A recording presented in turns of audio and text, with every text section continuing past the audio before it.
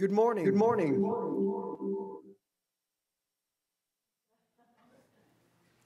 Let's try again.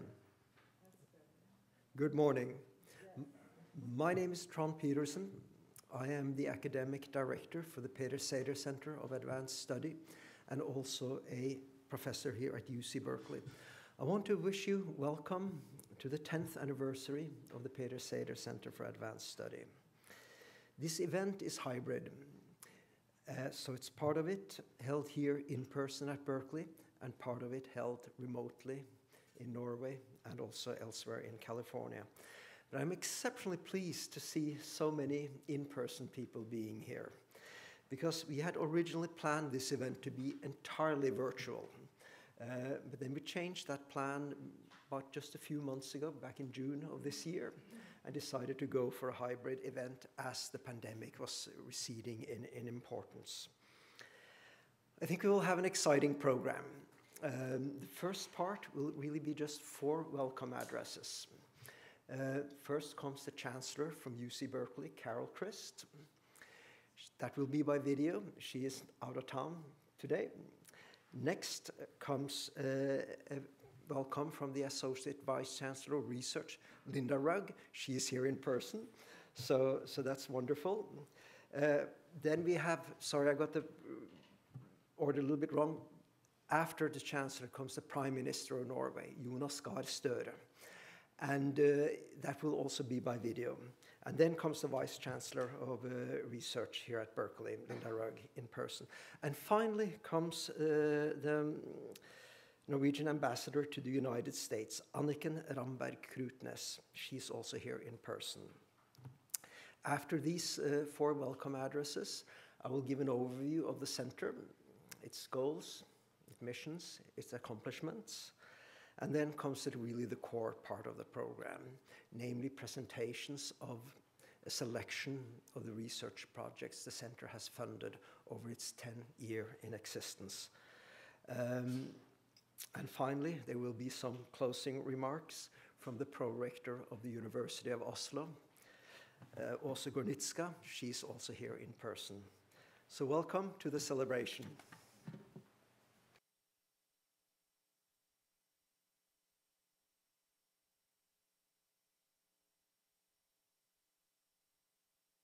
Welcome to the 10th anniversary celebration of the Peder Sather Center for Advanced Study at UC Berkeley, the perfect occasion to honor and appreciate the history and importance of this wonderful collaboration between Norway and UC Berkeley.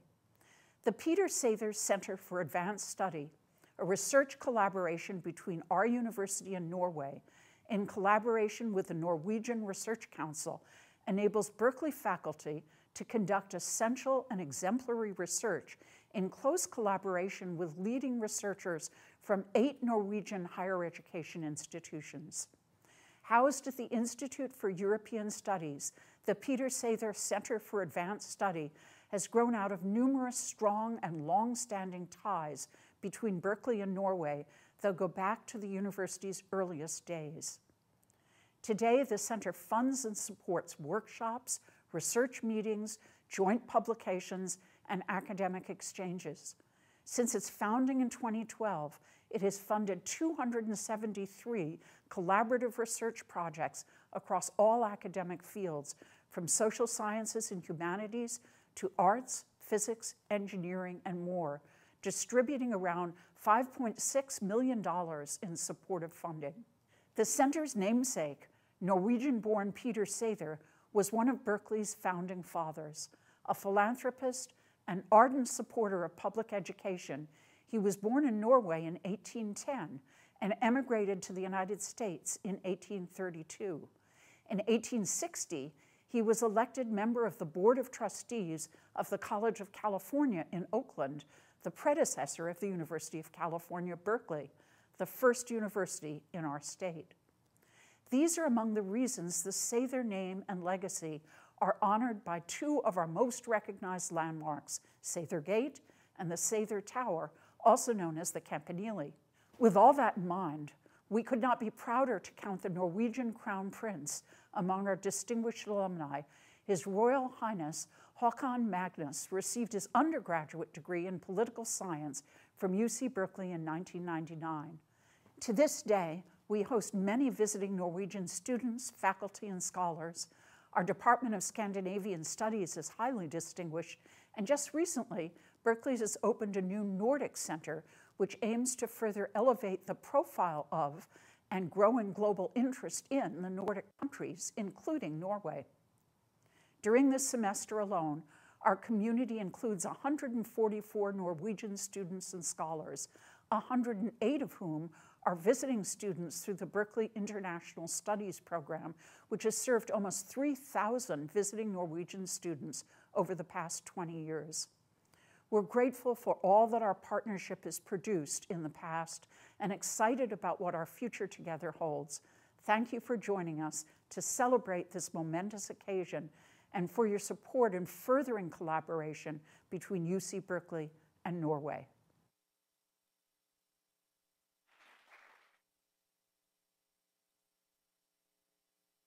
More than 14 years ago, I learned about Professor Liv Duesund's efforts to establish a Norwegian center at the University of California, Berkeley.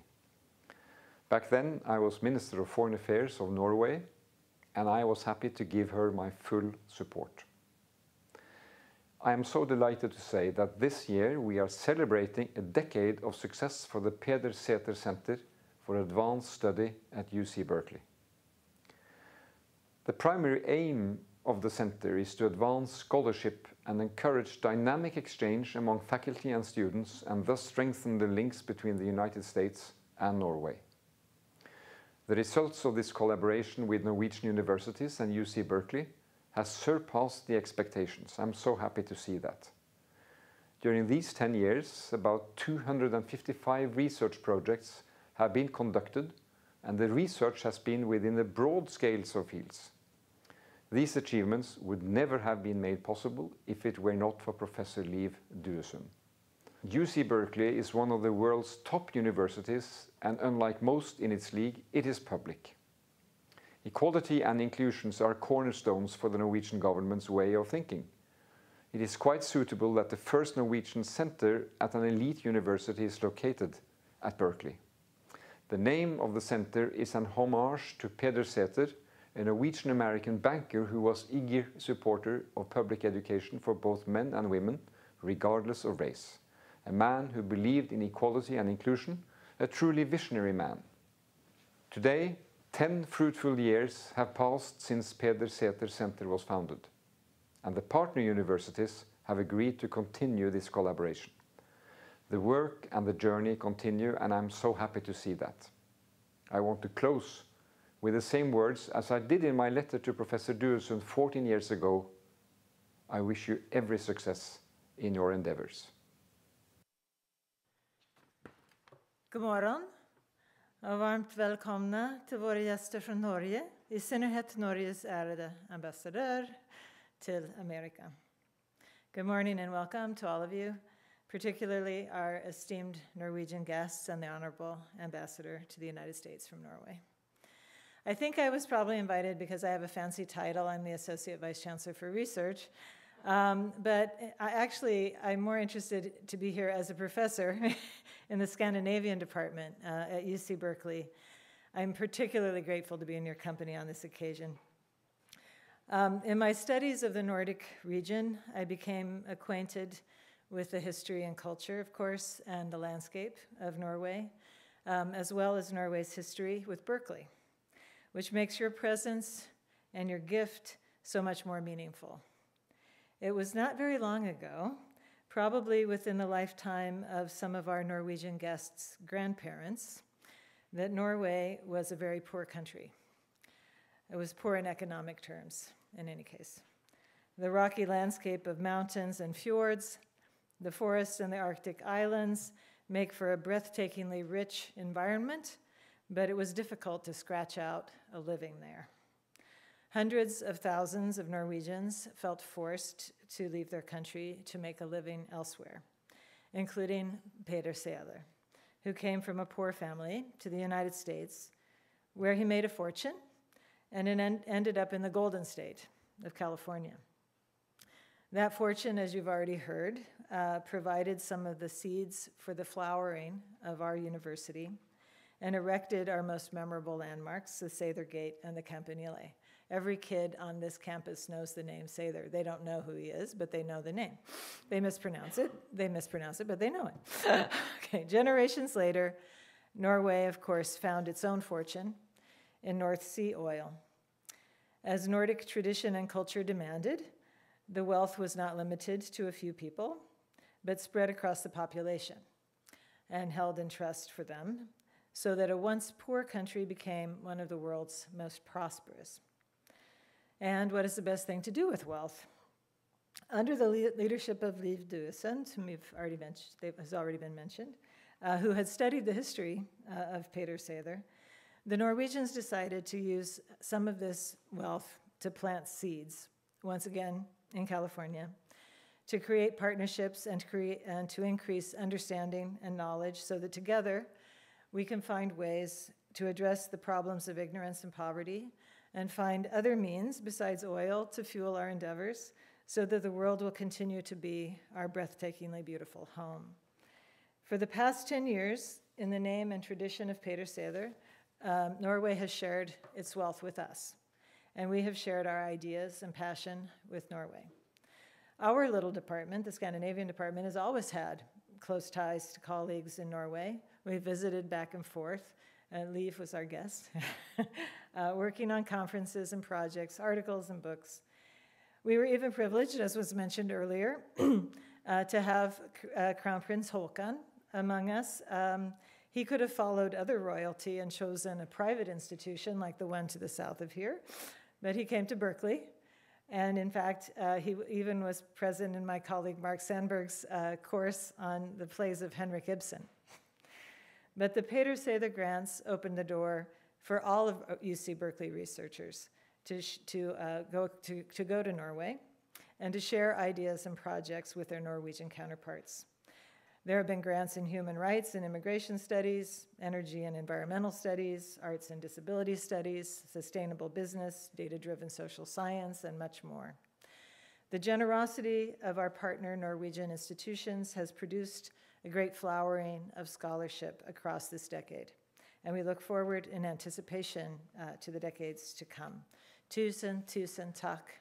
Thank you so much.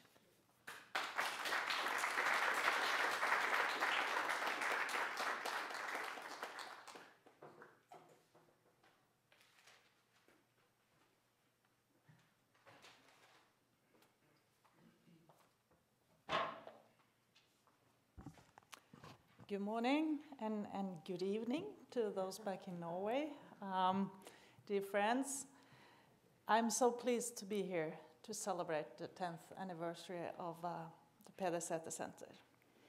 As we heard, the center is named after Sæther, uh, who was a farmer's son from Norway and emigrated to the US in 1832 and became a founding father of US Berkeley.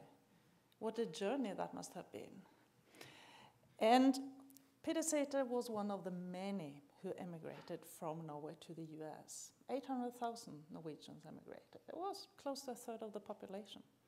There's a very, very strong Norwegian American community here in the US. Among the Nordics, Norway is the biggest population here.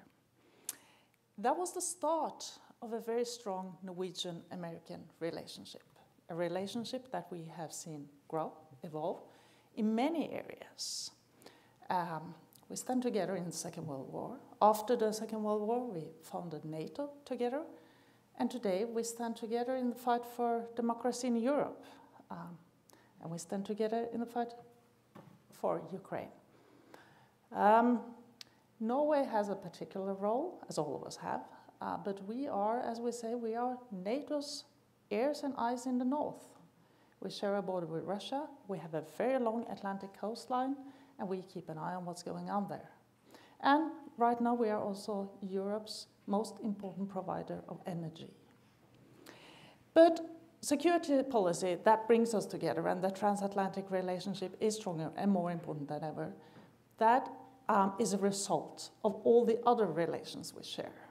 Security policy does not operate in a vacuum it comes because we share values, we share history, we share relations.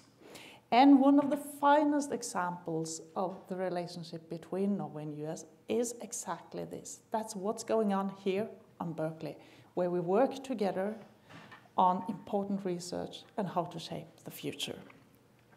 I'm very proud, as Norway's ambassador to the US, that Norway has such a strong footprint at one of the finest institutions in the US. We've heard about all the projects. I'm not going to list numbers or names because others have already done it. But I will say I'm looking forward to the rest of the day where we will have some insight in the research that is going on. Looking back, we see the rewarding effects from the establishment of this center. And looking forward, I hope that the next 10 years and the next 10 will prove equally, if not even more beneficial on all these level of impacts. I'm also happy to note um, the new opportunities for further collaboration uh, that emerged between Norway and the US, and I just will mention that we have a memory of understanding between the Department of Energy here in the US and the Ministry of Education and Research in Norway, an MOU on artificial intelligence. And I hope that MOU will be filled with a lot of content, and I see you as important contributors to that. Given US Berkeley's role in AI research, again, you have to fill that MOU with the content. And with that, I just conclude by congratulating all of you, everyone who is associated with the Peder Center, on your 10 year anniversary. And may we meet again in a decade and in two, and many more to come. Congratulations.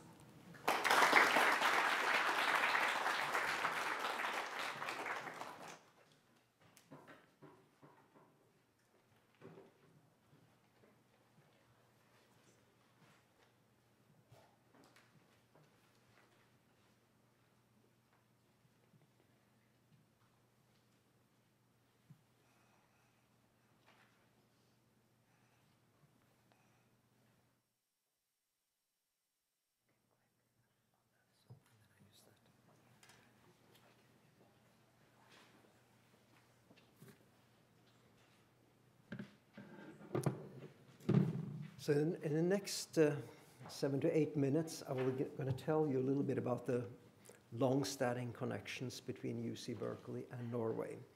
Some of it you have already heard, but it's worth repeating. It's uh, good stuff. Um, and I'm going to cover three points. First, the founding of the university. Next, Norwegian students at UC Berkeley. And then finally, the Peder Sæther Center which is kind of the zenith of these uh, collaborations. So let me start with the founding of the university. Peder Sæther was born in Odalen, 1832, came to the US. Now, sorry, born in 1810, came to the US in 1832, and then to California in 1851. When he came to California, we had the gold rush, so everyone was focused on gold and gold mines. Sæther, on the other hand, he was a true visionary. And he sort of peeked into the future. And his thinking was like this human minds are more important than gold mines. And he saw that the future of the world would depend crucially on research and education. So, for that reason, we have here the main entrance to the university, the Sæther Gate, and then the main uh, other landmark on the university, the Sæther Tower, both named after him. But there's also professorships, several in history, classics, and others that are named after him. And all of this was funded by the inheritance he left behind when he passed away in 1886. So I think it's correct to say that not no single person has left as strong an imprint on UC Berkeley as Peder Sæther did. I think it is also correct to say that no Norwegian has left such a strong imprint abroad on a major university as Peder Sæther did. And fittingly, we then have the illustrious Department of Scandinavian Studies here at Berkeley, which also covers Uh, Norway and Norwegian language and culture. And fittingly, we are a public university, which is what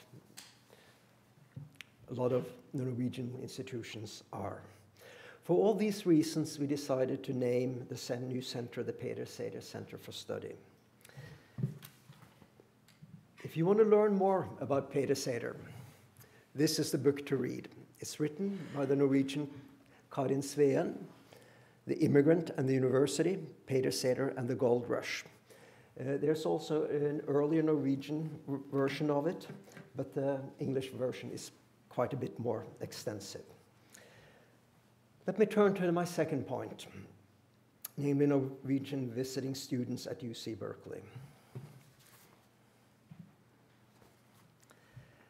Uh, Norway has extensive collaborations with UC Berkeley for sending students here for sort of what we call delstudier in utlandet, or partial studies abroad. And uh, since about 2005, we had about 3,000 such students coming here in lots of different fields. They've gone back to Norway and then done further studies there. We've also had during the summer uh, several students coming here, roughly 500 over a 12 year period, who do uh, study innovation and entrepreneurship and uh, work in internships. So these students, they're here mm, for a semester, sometimes two semesters. They take classes. Some are in internships in schools and in other organizations in the area. And then, as I said, they go back to mm, Norway for, further study. And here you can see the picture. It's the Norwegian Crown Prince pouring coffee to one of the visiting students. And uh, uh, I'm also very pleased to say that this particular visiting student here um, came first as a master student, then came back as a PhD student, then later on as a postdoc, and has returned to Norway, has just been appointed a professor at the University of Oslo, and is here with us today and will present a little bit on what all the things he did, Magnar Ødegaard. So you will hear from him soon. Then to the Peder Sæther Center. So with this long history between UC Berkeley and Norway, it all became natural. We need also to have some extensive and formalized research collaboration. And what exactly does the center do? Let me tell you. But first, I want to give a brief genesis of its history. The work for establishing the center started really in late 2000s when Professor Liv Duesund took the initiative and developed the ideas. Her work completed in 2011 and 2012. Then we opened the center in um, 2012, in October. At that time, eight Norwegian institutions had joined the center. The Research Council of Norway had given some partial funding. We had a bid opening here on campus. Our Chancellor, Birgeneau, gave a welcome address. Our then Prime Minister of Norway, Jens Stoltenberg, gave a welcome address as well. He is now the head of NATO. So it was quite a, quite a big event. Now, as you know, the center is really a research collaboration between faculty here at UC Berkeley and faculty at these eight institutions in Norway. But it also includes many master's and PhD students that are part of the funded projects. So they come here, work with faculty from Norway and faculty from Berkeley as master's and PhD students. And over the last 10 years, we have funded 273 collaborative research projects, distributed about $5.6 million. It's across practically every field imaginable, you know, from arts, music, dance, to social sciences, humanities, physics, engineering, mathematics, and so on. There's really no limitations on it. The way it primarily works is that we give small grants, typically of $25,000, and then um, people find out how to develop their ideas from this. And I think I could say that several hundred masters and a large number of PhD theses have been completed in part as part of these collaborations. Uh, the main sort of um, say major, major sort of important thing that's happened out of this are really the intellectual exchanges. But it has also had spin offs in other directions. And by our estimate, for every dollar invested by the center in collaborative research project, has spun off an additional $4. And um, so this comes in additional to the intellectual payoff. And these ad additional $4 that every dollar gets sort of comes from research foundations in Norway, in Europe, in the United States, and elsewhere. So the center typically runs seminars, workshops, facilitates uh, experiments, data collection, co-authoring, and it also does development of teaching at the undergraduate and graduate level. So we do studies and, and seminars of that. Um, I say, you name it, the center does it. And in a few minutes, you will hear from some of these projects. What I would say is that many, really many of the collaborations have been very successful. And some of them have been really also instrumental in establishing so-called centers for research excellence in Norway. They're funded by the Norwegian Research Council. By my, my count, at least four such, uh, the Sæther Center has been part of the establishing four such centers in very, very diverse fields. And it has also facilitated extensive exchanges of masters, PhDs, and postdocs between Norway and Berkeley, going from Norway to Berkeley and the other way. And the picture behind me is from some of the early days of the Peder Sæther Center. Uh, and uh, you can see uh, here some of the participants at that point in time. So thank you for your attention and welcome to the celebration.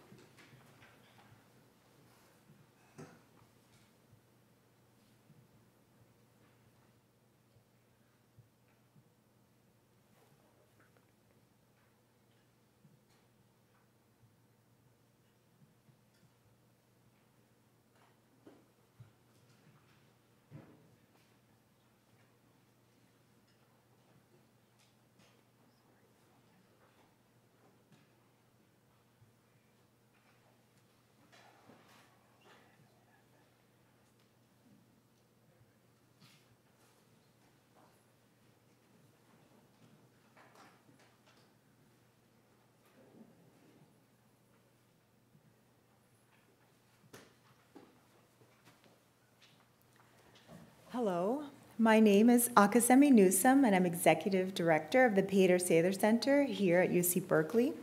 We'll now turn to the Research Showcase, where we're proud to feature highlights from 10 years of academic collaboration. Our first presentation will be by Heidi Wiig, professor at the um, at BI in uh, Norway. Uh, Robin Marsh, a professor at UC Berkeley, Alastair Iles, a professor also at UC Berkeley, and their project is titled Models of Sustainable Farming and Adaptive Responses to a Global Pandemic in Different Geographical Contexts. Okay, uh, thank you all. Uh, my name, as I said, is Heidi Wiig. I'm a professor in innovation and entrepreneurship at um, BI the Norwegian Business School. And my first question, of course, is that, do you see my screen?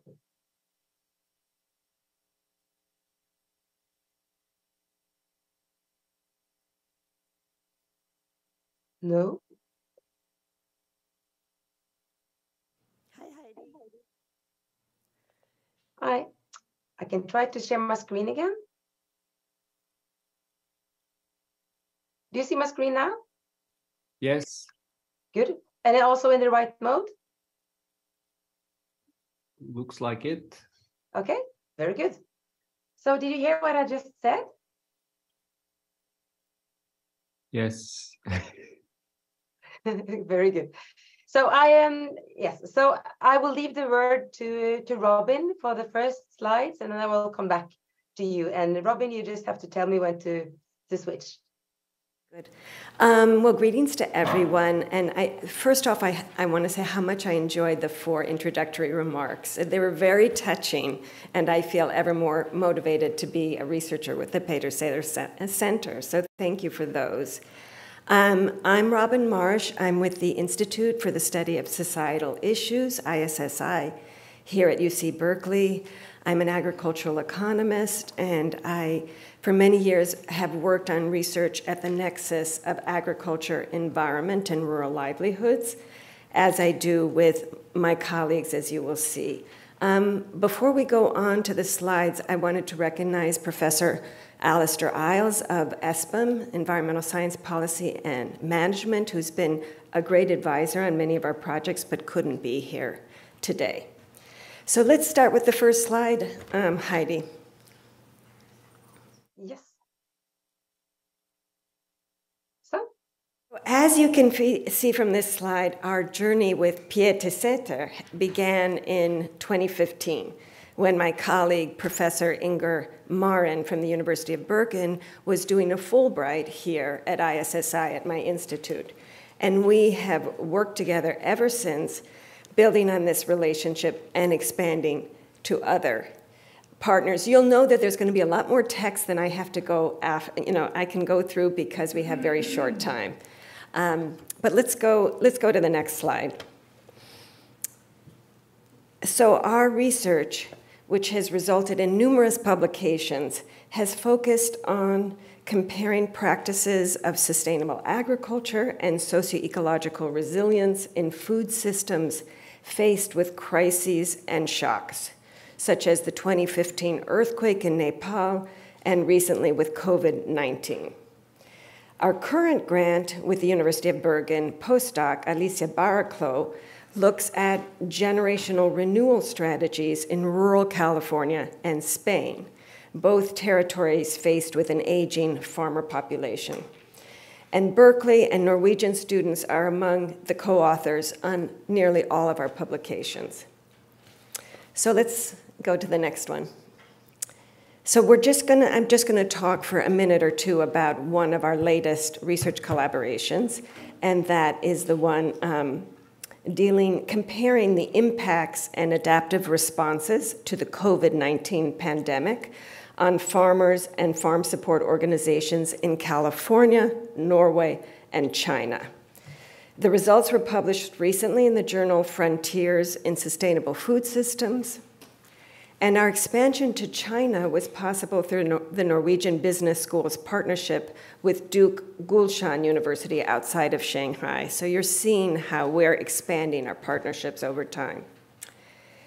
So, drawing from in depth interviews with farmers and government and non governmental support organizations, we mapped the vulnerability and resiliency of selected farmers to shocks that severely disrupted traditional supply chains in three different sociopolitical systems. We looked at what we could consider market dominated food systems in California.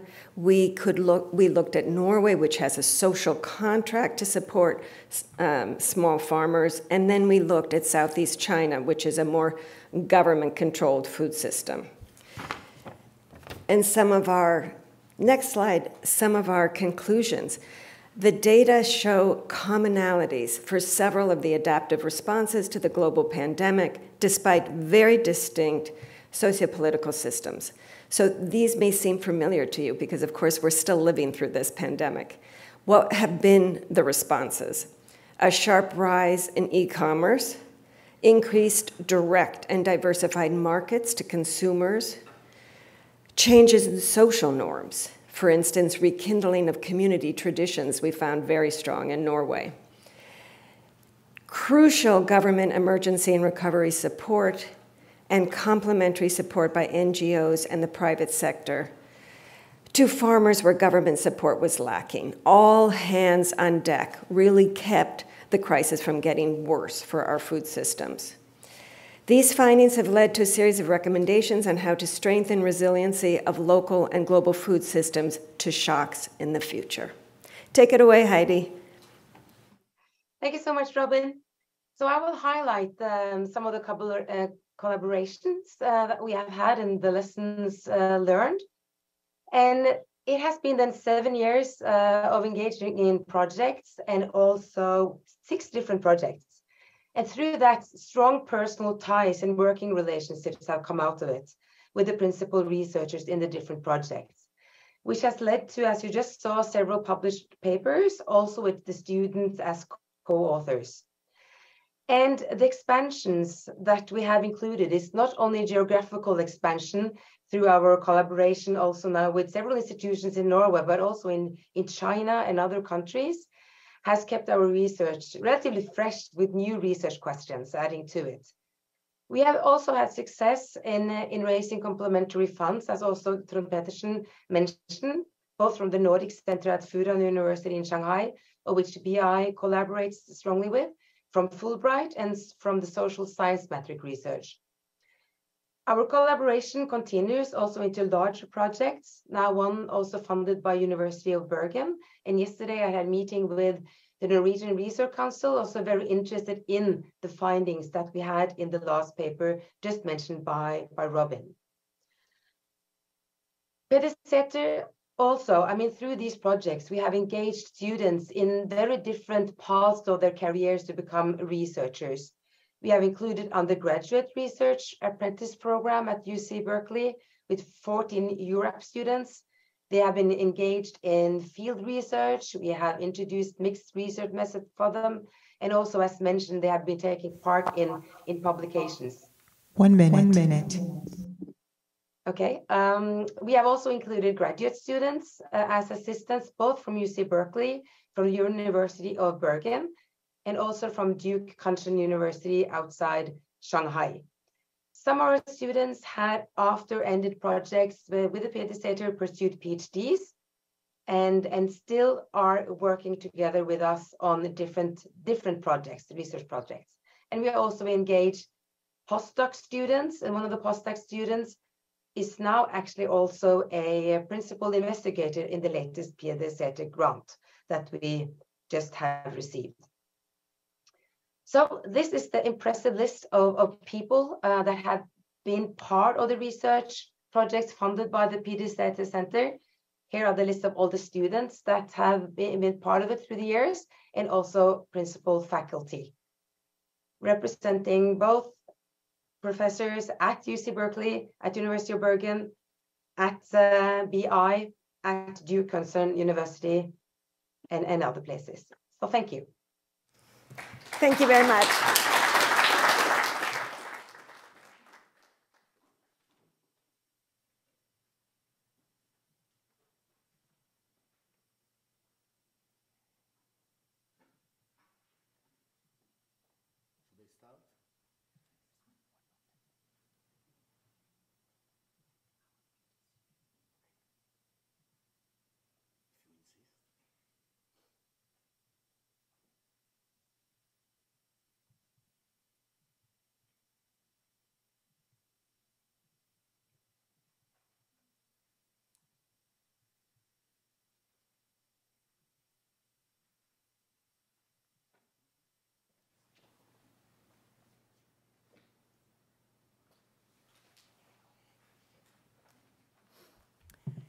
Thank you, Robin, and the rest of the team.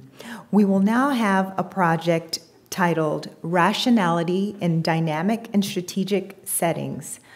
The PIs were Alexander Cappelen from NHH Business School in Norway and Professor Shachar Kariv at UC Berkeley. Thank, Thank you. you. All right. Uh, good morning, everyone. Thank you for coming. I, am Shachar, and I'm losing my voice, as you can see. Uh, don't worry, I don't have COVID. My wife left on a work trip, and whenever she goes, I'm becoming sick. It's, it's purely psychosomatic. Uh, I also, uh, I actually have to leave right after, so I apologize for a school uh, like a week-long boot camp that we are doing for PhD students together with the folks from NHH. And this time we are hosting it in, uh, in UC San Diego. So I'll need to fly to San Diego. Um, so, uh, so what are we doing? We actually started, I understand that I need to stand here. Uh, we actually started our collaboration even before the Peder Center, uh, the Peder Sather Center started. It was a collaboration between the Choice Lab at the Norwegian School of Economics and our experimental laboratory, X-Lab. Uh, and with funding from the Peder, uh, Peder Sather Center, uh, we were also able to apply uh, for a center of excellence uh, from the uh, Research Council of Norway. my Norwegian friends tell me that this was the first center in the social sciences. Um, I don't know, I put wide confidence intervals on what economists say, including myself, so I hope it's true. Uh, but it has been a very, uh, it has been a very fruitful collaboration, uh, and, uh, and we are continuing, and the center is called FAIR, which is actually exactly the, uh, the core topic which uh, we are studying. So uh, whenever I talk about it, I invite people to argue with me, but because we have only seven minutes and I have very little voice, so you cannot argue with me. So when we are talking about rationality, uh, we are talking about mainly about rationality in what we call the three fundamental trade-offs in life. And I would argue that you know you need to make many decisions in life. Life is an infinite sequence of decisions: financial decisions, non-financial decisions, decisions at home, decisions at work. But we argue, when I say we, the people in decision theory and game theory, we argue that all of these decisions are actually governed by three trade-offs. We call them the three fundamental trade-offs in life. The trade-offs between risk versus return. Should I put my money in bonds or should I put my money in stocks? Stocks have a higher expected return, but they can also go down as we see today. The trade-off between today and tomorrow meaning my welfare today versus my welfare tomorrow. Should I buy this car or save more for my retirement? Should I eat this cheesecake or stay with the salad? Should I go to the gym or stay on a couch, etc., etc., you can see. And also the trade-offs between self and others, meaning the trade-offs between my own well-being and the well-being of other people. The other people can be my children. How much money should I leave to them after I'm gone? But other people can be the environment, or it can be about taxation and redistribution. And our research is to understand how people are solving these trade-offs in dynamic settings. So I will focus on what we call actually distributional preferences. Distributional preferences are a type of trade-off between self and other, where other, following a long tradition in philosophy, the other is a random other in society, an unknown other. And we believe, or at least we would like to think, that our views about taxation and redistribution is governed by our distributional preferences. Am I willing to be taxed more in order to give to a random other American? Now, this type of distributional preferences, this is not something that economists, of course, invented. Uh, it, uh, this type of distributional preferences are divided uh, into two parts. The first part is the weight that I put on myself versus the other person. It means how impartial I am. The other trade-off is the trade-off between equality and efficiency. And these are two separate trade-offs as the long and known debate between John Rawls of Princeton and John Harsanyi from Berkeley. Both of them actually advocated for choices for theories of fairness that people are doing behind the veil of ignorance, which mean people have to be impartial. People have to put equal weight on themselves and other people. But they, of course, disagreed about uh, what should be the trade-off between equality versus efficiency. If you like economics and you know indifference curves, uh, Harsanyi will have linear indifference curves because he had extreme concerns about efficiency. And Rawls had extreme concerns about equality, so he's going to have the Leontief. But both of them are fair-minded because they are putting equal weight on themselves and other people. Now, of course, this also translates to uh, political agendas in the United States. uh, and elsewhere, of course, we typically associate the Democratic Party with policies that are more towards equality, higher taxation and redistribution, and the Republican Party uh, to policies that are actually about uh, increasing efficiency, reducing taxes, and promoting economic growth. But, you know, I think it would be hard to argue that uh, Democrats are more fair-minded than Republicans or vice versa. All right, so uh, here is just one piece of evidence uh, that we have from a paper that we published in Science in 2014, where we actually using uh, experimental game theory, we measure the distributional preferences of three groups. One is what is called the American Life Panel. This is a representative sample of Americans, one of the best research panels that we have in the United States. The other is, pressure. the other is, uh, the other is Berkeley undergraduate, and finally, these are Yale Law School students, which of course, if you understand American politics, uh, they have a large uh, influence on American politics and we divide people into uh, fair-minded, intermediate, and selfish. And the gray and blue lines are about whether they are more towards equality or more towards efficiency. And you can actually see that the elites that make decisions are much more selfish and much more concerned about efficiency. So I'll just conclude with a discussion between Scott Fitzgerald and Ernest Hemingway where uh, Fitzgerald basically said to, uh, uh, to Hemingway that the elite is different than us. Uh, and Fitzgerald basically replied that yes, they have more money. And this actually shows that there is more than this. All right, thank you.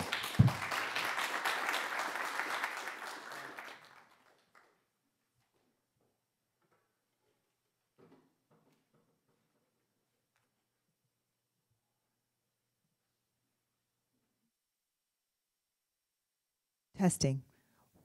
We will now have a presentation that's pre-recorded titled User Experience Wilderness, Rethinking User Experience, Holding Capacity and Public-Private Relations HIPs along scenic roadways in California and Norway. Uh, the PIs for this project are Professor Jorg Sieweke from NMBU in Norway and Professor Richard Hindle at UC Berkeley.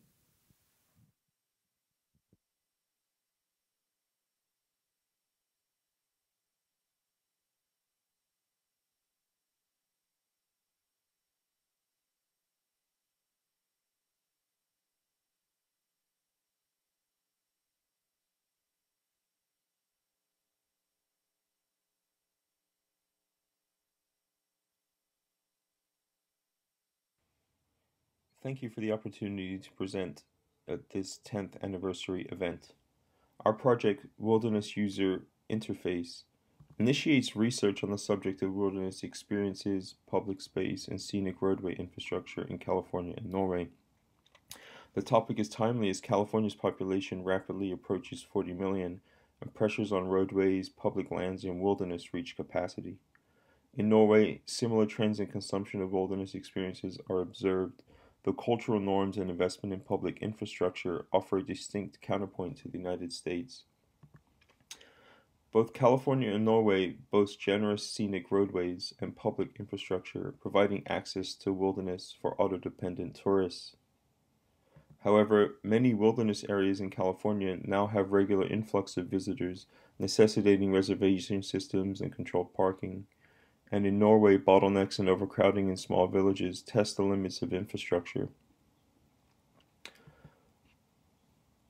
Wilderness areas must now also address new types of user experience, including social media, that change the way wilderness areas are inhabited and consumed.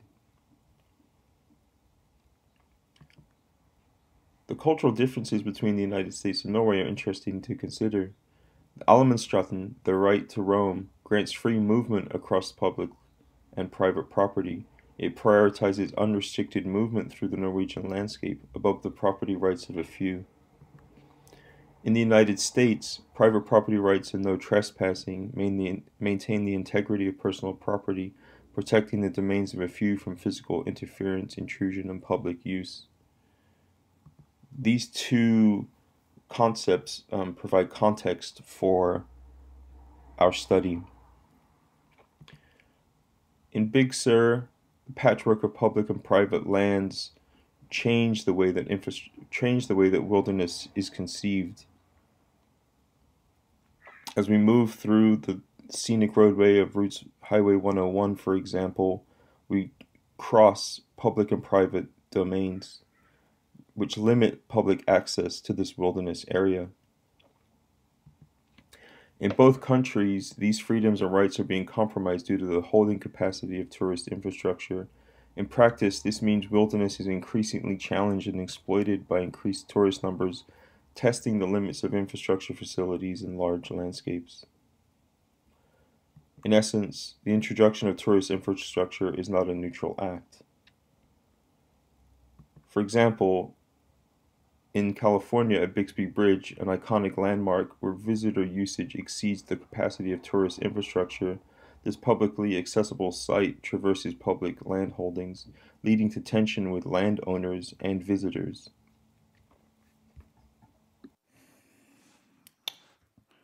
Earlier this year in June, we explored three out of 18 national tourist routes beginning in the Arctic Circle with Senja, Andoya, and the Lofoten Island.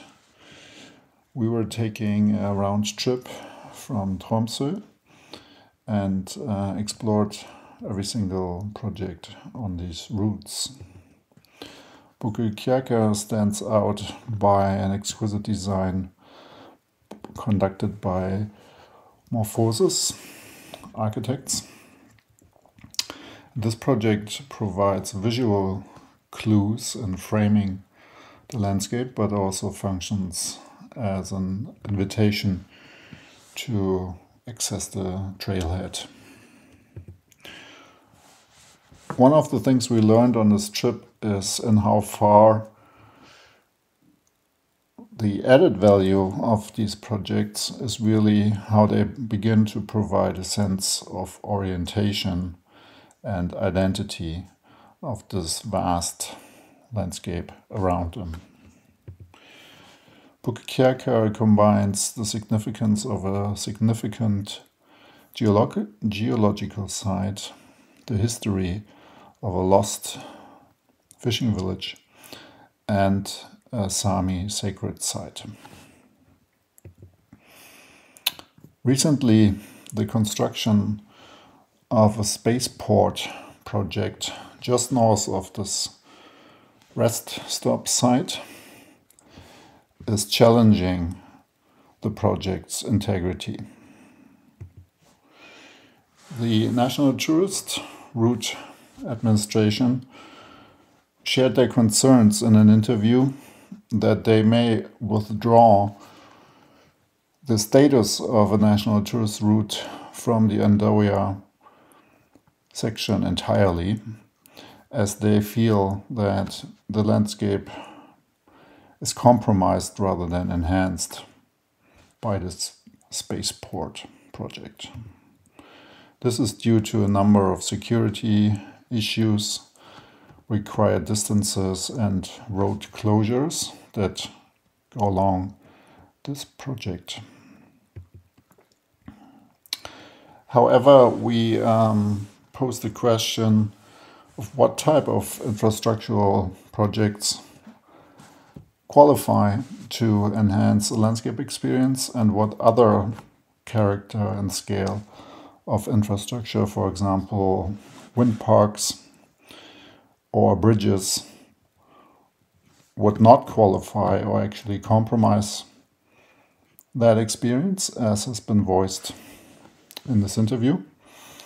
And um, we can look at a number of projects throughout the US where such large scale infrastructural interventions like this wind farm or the Hoover Dam are actually historic moments that clearly contribute to um, the experience of such landscape.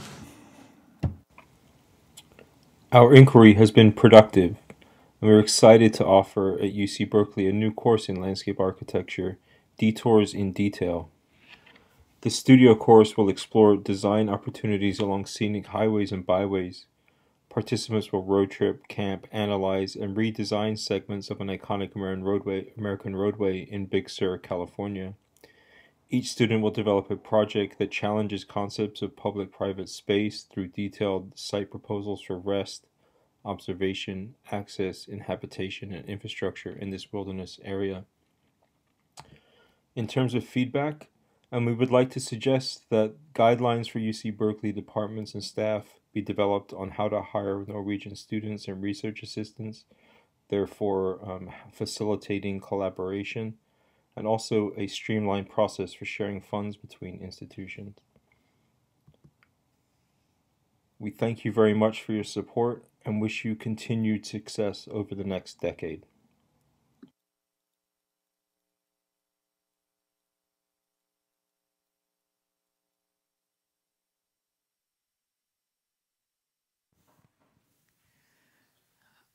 Our next presentation will be purely on Zoom.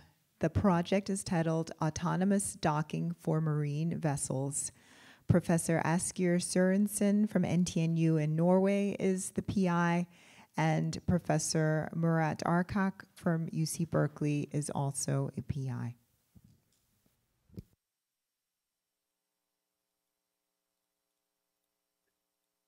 Asgeir, you start, correct? And then I, I will take over. That's okay. Dear friends, uh, good morning in the US and good afternoon in, in Norway. I think we can, uh, I will start with to, to also make some remarks about where does collaboration really starts. And I think the interaction with Murat started already at the very late part of his uh, PhD, where he was also in contact with other PhDs and uh, PIs in Norway. That was in, in particular my colleague Thor Inge Fossen and uh, some of his group of students. And uh, then I was also brought into this uh, collaboration. And uh, Murat has been a, a, member of PhD committees uh, in at NTNU for years, both at Department of Engineering Cybernetics and Department of Marine Technology. And uh, I think it was when the Kronprins Haakon was visiting uh, Berkeley in 2011, we also more or less uh, related to that visit. It was also a part of Science Transatlantic Week. We also decided that Murat should be a member of uh, or collaborator also in our Center of Excellence uh, on uh, autonomous marine operations and systems, where I also engaged Murat as a part, a member of the scientific advisory board. And uh, since then, uh, we have also had uh, regular visits. Uh, Murat uh, and uh, myself has been going both ways, and we have also been sending students both ways. And I was also lucky to be at the sabbatical leave at UC Berkeley fall 2017, and where we actually fed or created a lot of new ideas that was brought into uh, AMOS, but also to other project proposals we will uh, come back on. And, I, and I think we can see and regard and appreciate Peder Sæther uh, that has really contributed as uh, instrumental in order to get this going. So uh, this has uh, resulted in a lot of joint publications, and hopefully we create new Murats and new Asgeirs that will take this over after, uh, after us. So Murat, please take the next. Sure. So um, regarding the particular project we are summarizing, so the idea here was to merge tools from control theory and formal methods for software and hardware verification for verifying the correct behavior um, and safety of autonomous marine vehicles. So as a challenge application, we selected docking maneuvers because Asgeir said this is a high risk operation and still manually um, uh, conducted very often because of the you know collision risk and the strict requirements for precision. So how do we automate that? How can we do this autonomously? So several results came out of this, and Asgeir was referring to future Asgeirs and future Murat. So I think two of those emerged from this. So our postdocs, Pierre-Jean Meyer and Astrid Brodtkorb, um, collaborated on this. And there's a joint publication by the two. Most importantly, they have both started their own careers. Astrid is a faculty in um, at NTNU, and Pierre-Jean is in France, and they continue to work together. So um, the theoretical ideas were developed um, early in the project. Uh, part of the project was to be experimental, but then the pandemic got in the way. So we have nevertheless picked up from where we had stopped. So once things opened up, um, Kate Schweidel from my group has been visiting NTNU. In fact, she was there last week uh, working on the experiments. In the meantime, we also hosted Jens from uh, research group. Uh, that was also unfortunately cut a little short because of COVID. He had to return home. That was spring 2020. Nevertheless, we were able to you know, summarize the results of his visit in a publication. So, and I was also able to resume my annual visits to NTNU uh, this past May. It was a wonderful trip as always. And we also went to the Arctic, to Svalbard, and were engaged in some experiments over there. It was an amazing experience. So, and I'm happy to also report that we'll we are able to bring Asgeir back uh, fall 2023. He'll be again on sabbatical here. Um, on, on the, you know, in closing, I want to also mention some of the um, how we leverage this or how the Peder Sather grant was able to was able to you know leverage uh, some of our efforts. Maybe the first bullet you can uh, talk about Asgeir. Now I'll switch to the second later.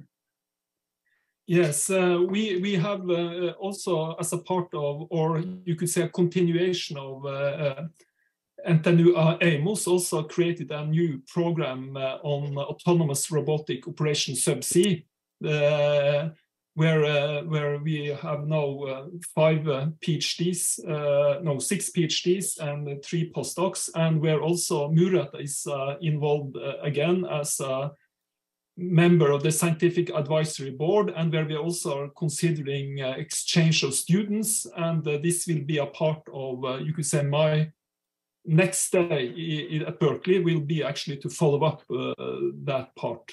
Mm -hmm. And on the second bullet, eh, we have a very closely related project that has just been funded by the National Science Foundation from the Cyber Physical Systems Program. It's a frontier project.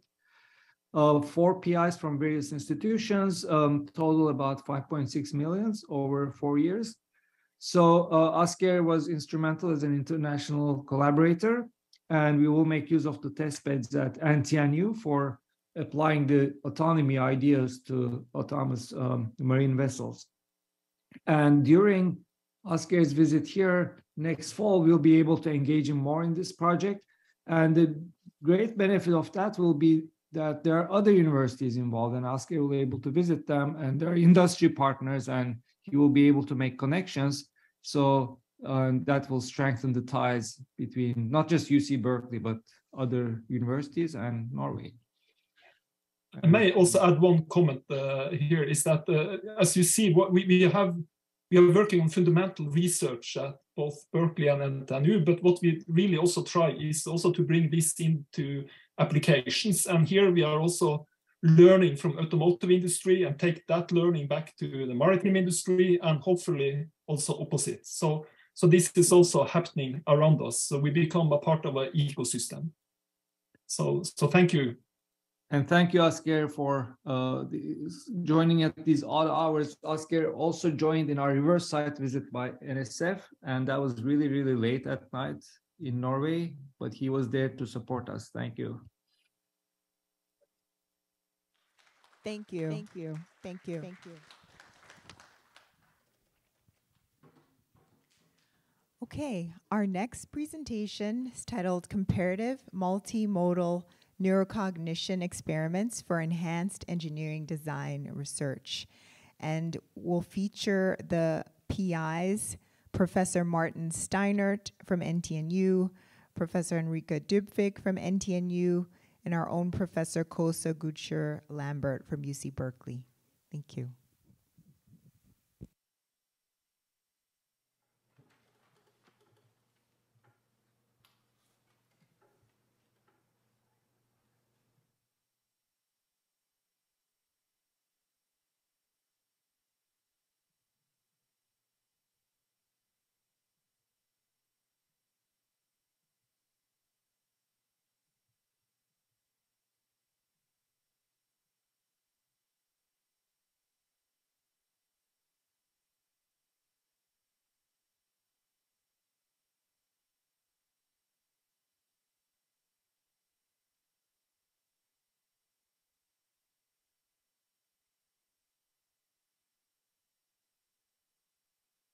Great. Good morning, everyone. Sorry about that. So I'm Kosa Goucher Lambert. I'm assistant professor in mechanical engineering here at UC Berkeley. Uh, it's been really great to learn about more of the work from the center. Um, so this is a collaborative project between UC Berkeley and NTNU. Um, and then uh, Professor Martin Steinert's over on Zoom somewhere. So maybe if you're on Zoom, you can see him wave um, and say hello. Okay, so what this project is about is really the blending of cognitive neuroscience and engineering design. Uh, so for some time now, we've been interested in studying uh, using non-invasive brain imaging techniques to study designers' minds while they're coming up with new ideas. And so the idea here is that we want to study how people generate these creative concepts using these non-invasive technologies and then use those insights to then create new design theories and methods and technologies to help people generate better ideas.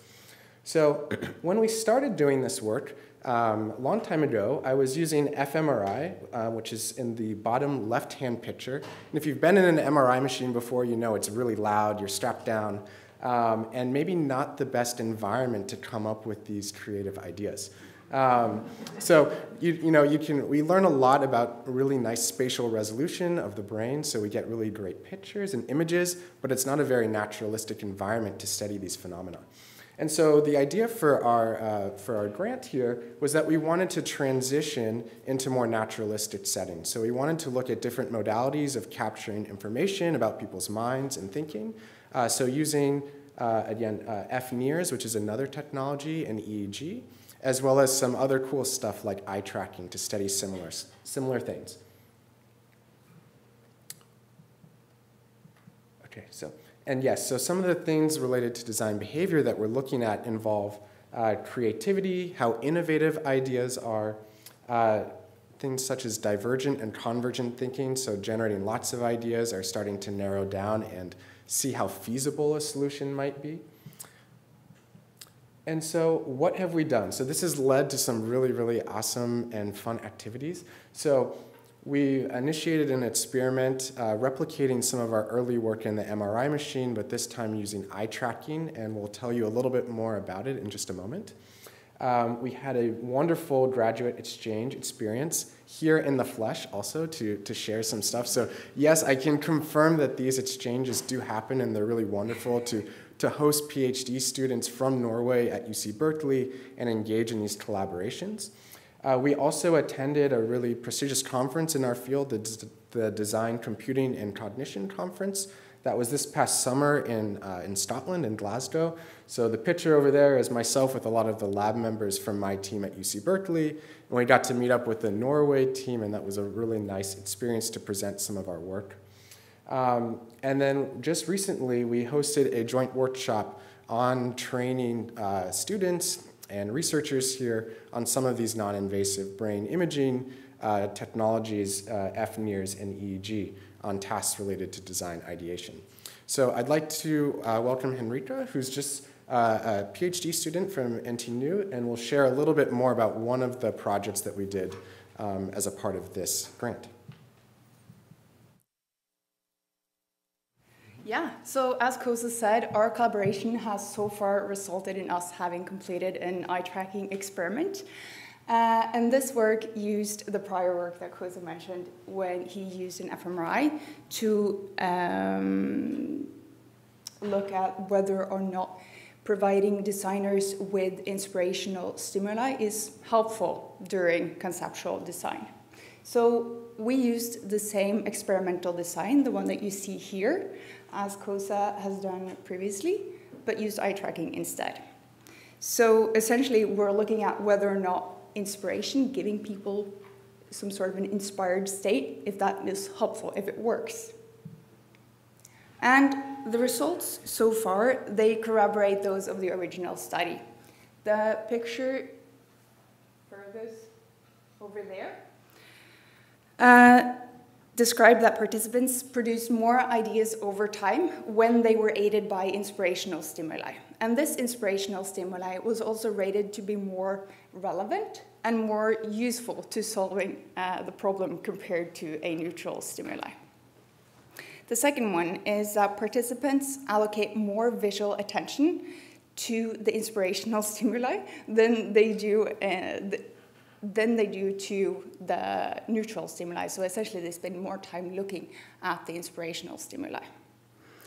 And this occurs throughout the entire ideation session. And the third is that in the absence of inspirational stimuli, so in a control condition, participants spend more time um, looking at the problem statement. These results have so far been published and presented at two international conferences.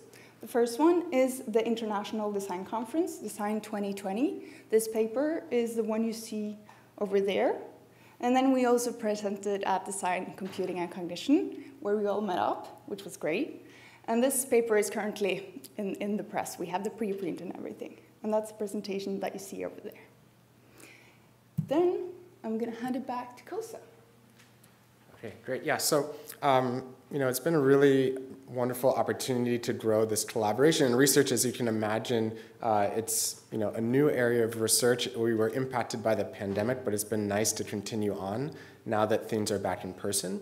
Uh, so looking to the immediate future, we're working on some new um, modalities of capturing this information.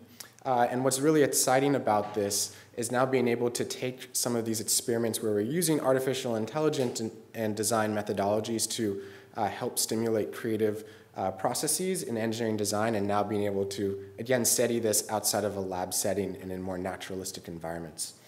Um, so we're working now on a journal paper that's kind of wrapping up some of the most recent stuff um, and also planning to pursue some follow-up funding and again more collaborations and exchanges between uh, UC Berkeley and Norway. All right, so here's some of our research product, products to date, um, and again, another journal paper underway. Um, and so thank you again um, to, to the Peder Sather Center. It's been a really nice program, and as we've heard this morning, you know, these small injections of the seed funding really can spurn big ideas and collaborations that sustain several years and, and turn into really large projects. So um, thanks again to our really great team uh, Philippe uh, uh, the co-design lab, so that's my lab here at UC Berkeley, and then the Troll labs over at NTNU. Um, and if you want to reach out to us, you can, there's some coordinates. I'm leaving to teach now, but then I'll be back for the lunch and look forward to connecting uh, more with folks then. So thank you very much.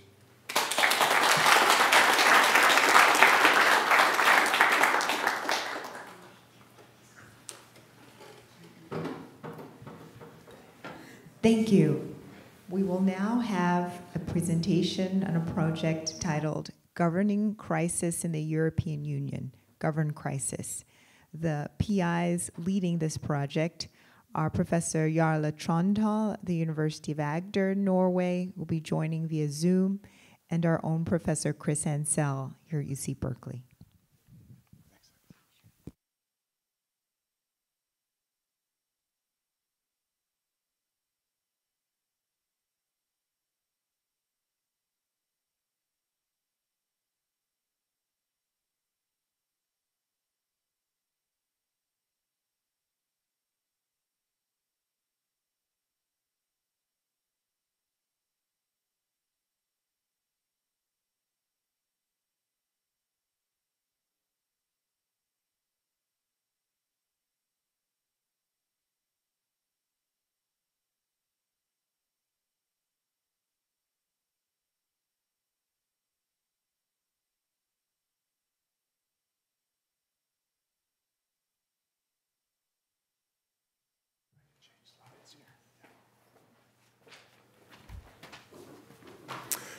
Good morning. Um, it's a pleasure to be here today um, to help celebrate the Peder Sather Center's 10th anniversary, so congratulations.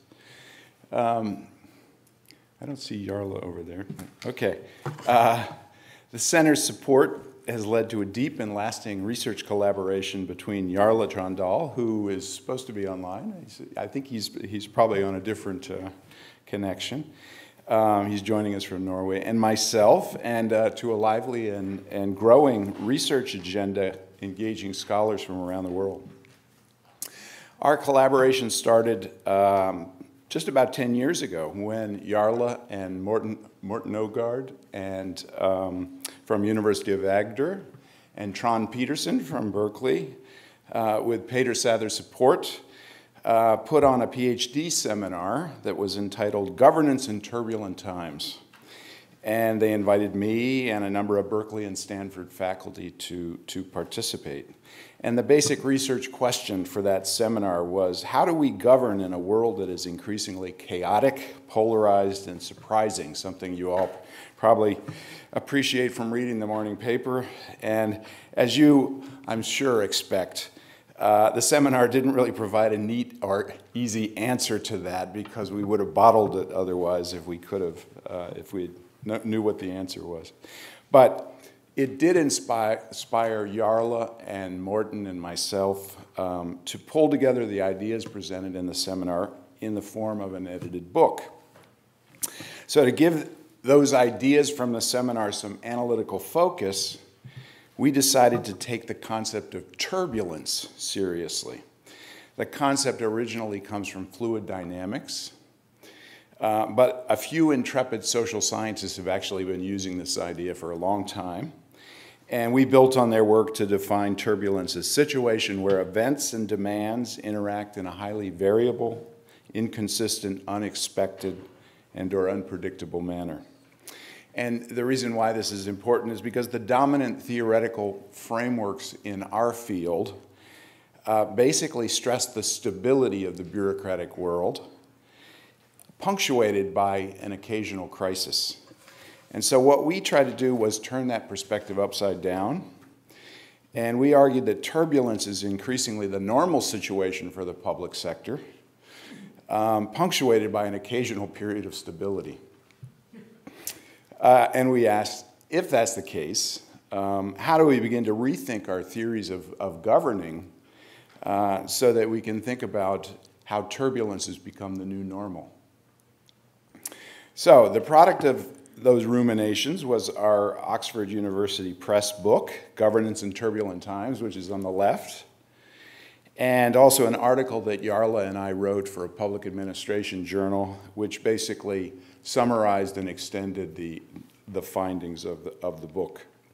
So, um, not to toot our own horn, but, uh, but or maybe just a little bit, but um, uh, really to show that the Peder Sather support has, has had some impact, I think. Uh, here are the Google cite, Scholar citations for these two projects, uh, which show, I think, oh, I, I kind of skipped a little step in my talk. Anyway, this was the framework in which we uh, kind of organize the analytical framework that we developed in the article in the book. So I'm not going to go into the detail of it, but it kind of it we presented a, a an analytical framework where there where people could think about uh, and analyze uh, how the public sector responds to turbulence. Okay, so, oops.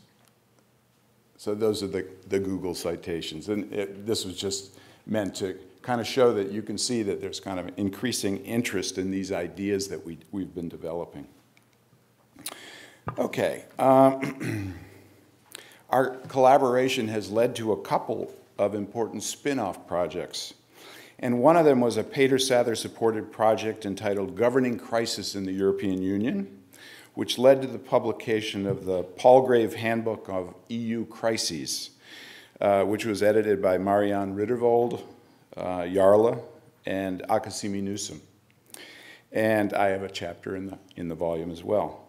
So this, this project is very timely, um, as you probably know, because the EU has faced a number of very serious crises over the last uh, decade or so. Uh, there's been a financial crisis, an immigration and refugee crisis, the rise of Euroscepticism, and Brexit, and of course COVID, and now Ukraine.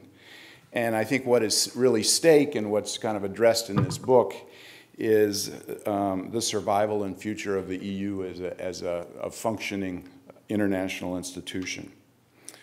Another spin-off project uh, explores what we call robustness of public institutions and organizations. And um, we came through our research to distinguish between uh, resilience and robustness. um, resilience is a conventional concept in our field, and it has different meanings to different people, but it basically refers to the ability to maintain or bounce back to a stable equilibrium or status quo. Robustness, on the other hand, stresses the ability to overcome challenges through continuous innovation and adaptation. So th these two concepts are, are closely related in our mind, but they lead to somewhat different understandings of how the public sector should respond to turbulent conditions. Resilience is about establishing structures and capacity that allow you to withstand or, or bounce back from a shock, where robustness is about having the flexibility and the agility to adapt to surprises. And those, those two things can come into kind of tension as we discuss in some of our work. Um,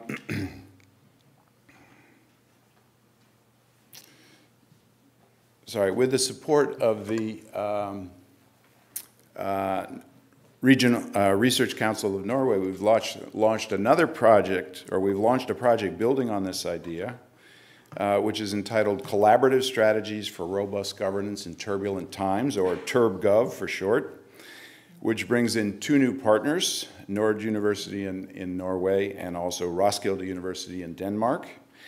And the project has already produced a special issue on the topic of robust governance in the Journal of Public Administration, with articles by both Jarle and myself shown here, but also, and I think this is really important uh, to stress, but also contributions from scholars from Canada, China, Denmark, Germany, Italy, the Netherlands, Singapore, and the UK. And so what I wanted to show with this talk was, was basically that with the early and continuing support of the Peder Sather program, our Agder Berkeley collaboration, that was the kernel, uh, has gradually ripened into an international research agenda that we're really excited about. And I'm, I'm happy to say that the Peder Sather program has recently given us a new, uh, um, uh, some additional support, which will help us, Jarle and I, take this project to the next, next level. So um, thank you, Peder Sather, and um, happy anniversary.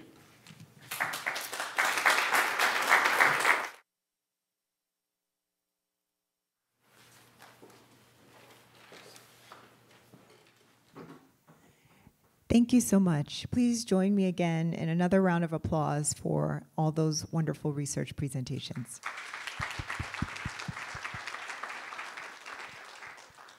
We will now have a short break before we resume uh, research presentations at 10:40 a.m.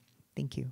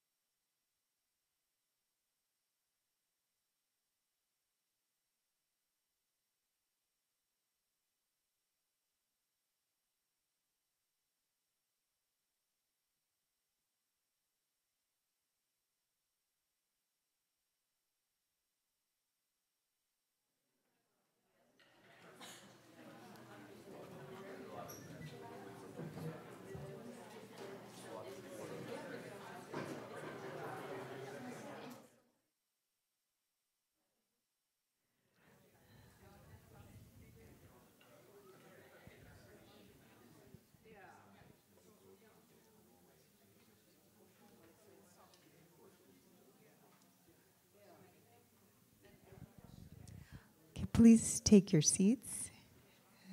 So we'd like to resume.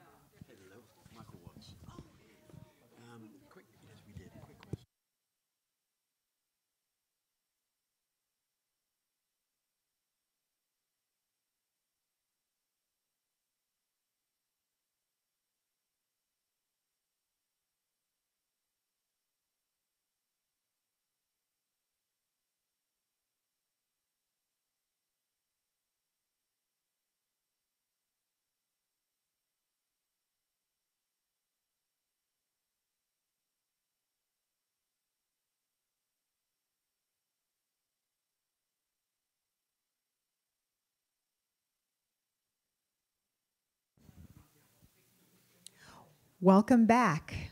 We'll now continue with our research showcase highlighting 10 years of academic collaboration at the Peder Sather Center.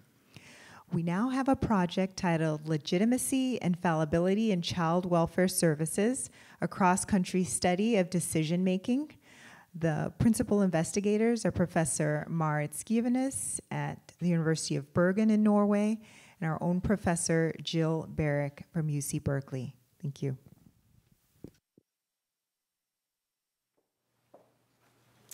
Good morning and thank you. I was just saying to Akasemi that this has been a fun morning just to see this whirlwind tour of different countries, different projects, and I've learned so much. So thank you for sponsoring this wonderful morning this morning. I want to um, acknowledge my collaborator, Marit Skivenes, who's the Department, uh, University of Bergen, who is on Zoom, though we may not be able to see her at the moment. So welcome to my partner as well.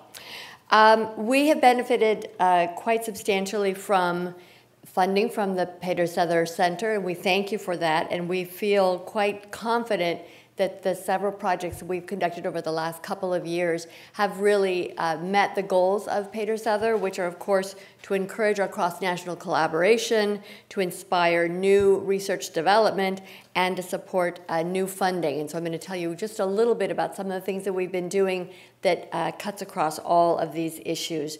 I'm sorry I don't have more time to give you a deeper picture, but again, this is just a general quick overview.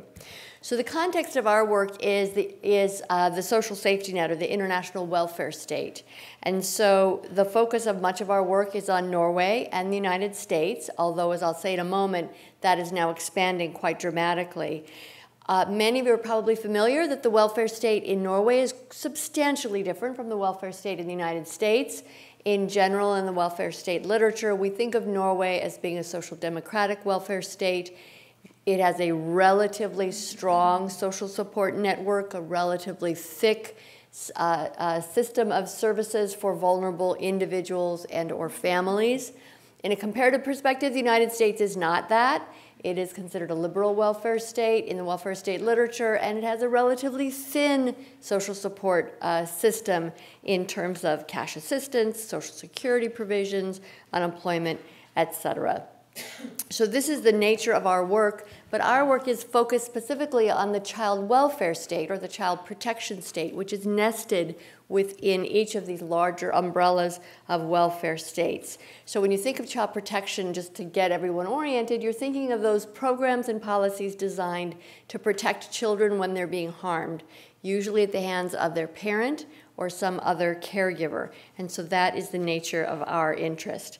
And our interest is in these uh, how child protection policies and programs, which are nested in these very different states, are embodied are embodied either by the actors who are the, providing this protective function. So we've done collaborate, collaborative projects looking at Norway and the United States in terms of the provision of foster care services. We look at these differences, looking at uh, how policies and programs are embodied, embodied by the actors who carry out the mandate of government, so that might be social workers or judges and how they differ in the way they respond to child protection. And then most recently, we've shifted our focus to looking at the public and public attitudes child, about child protection, both in Norway and the United States, to determine whether or not the public's understanding of these fundamental principles underlying a child protection system mirror or map onto what those child protection systems actually look like in those countries. So uh, oops, I've moved ahead. Sorry about that. So, the first study that I'll just tell you about very briefly is looking at this fundamental question of safety versus privacy. So, when you think about child protection, it's many, many things, but as it, at, its, at its essence, when you're thinking about the government becoming involved in the private lives of families, that's a very contested space because government is intruding upon family privacy or family integrity. But that family privacy, it has to be balanced with children's safety. And so, do we intervene when children are unsafe, but yet interrupt family privacy? Or do we not intervene because we want to preserve family privacy regardless of children's safety? That's at the heart of child protection in every country across the globe. But how does the public sort of think through this puzzle of setting your threshold? How much safety can we tolerate or lack of safety can we tolerate before privacy needs to be interrupted in the family? So, this study was a random sample of adults, both in Norway and in, uh, and in California. We were pre presented our respondents with a vignette to characterize a very typical child protection uh, uh, family. We then randomly distributed our respondents to three, three, three versions of that vignette a very low risk version, a medium risk, or a high risk version where the child was clearly very unsafe, to examine whether people generally fall in their distribution of, of their preferences towards a safety orientation or a uh, family privacy orientation. In general, we found that as risk rises, people are more inclined to see privacy being appropriately um, um, subverted and having parent, parental uh, activity restricted in some way. We also looked to see whether these views differed by country, and in fact, we did find that Norwegians were much more likely to support government involvement in the family or this abrogation of privacy, and US residents or California residents were much less likely to, to be inclined to restrict any parenting, uh, any, any privacy on the family. In a second study that we did, we examined this question of children's rights and parents' rights. So, for those of you who may not be familiar, children's rights is a very fundamental concept in the UN Convention on the Rights of the Child. Norway has incorporated the UN Convention into their constitution. So, children do have rights in the constitutional frame of Norway. That's not exactly the case in the United States. And if you've been following the news, you'll see that many states are playing with this notion of parents' rights in the United States, and parents' rights are, on the, uh, are in the ascendancy in several states. So again, we wanted to look at this question of whether or not children's right, uh, this view about children's rights or parents' rights differed based upon the risk of the child, and if there were differences across countries. Yes, indeed, we found that Norwegians were much more orientated toward to children's rights uh, uh, orientation than were folks in the U.S. The U.S. is much more likely to be oriented towards parents' rights, but that these differences did not vary based upon the risk of the child.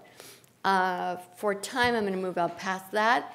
Uh, and we are now in the midst of trying to replicate this study since children are themselves the subject of all child protection proceedings in all countries we are replicating this study, asking youth, ages 15, 16, or 17, their views about children's rights or parents' rights, and their views about privacy versus safety. And so that project is currently underway.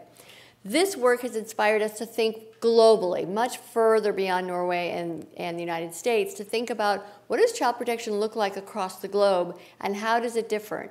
So we pulled together uh, uh, with our colleague Neil Gilbert some work that examined 50 countries across the globe to examine what their child protection systems look like based upon uh, a series of questions.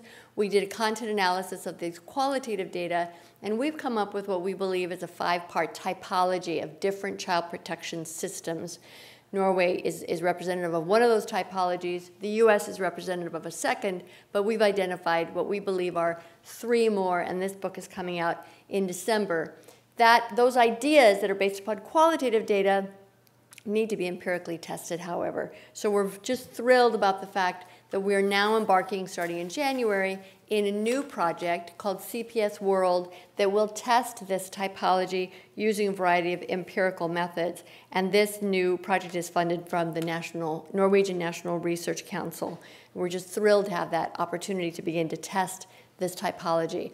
Why are typologies important? Because they give policymakers aspirational tools to think about the levers that they can implement in particular dimensions of policymaking to move their country from one typological state to another. And we believe that there are many countries that you can, you can tell from their uh, policy prescriptions that they have these aspirational um, notions, but they haven't yet created the framework to, uh, to reach their aspirations. So briefly, in closing, I'll just list some of the publications that we have um, produced as a result of our collaboration. Several of these include doctoral students, and we are again so grateful to the Peder Sather Center for all of these opportunities to improve our understanding of child protection across the country.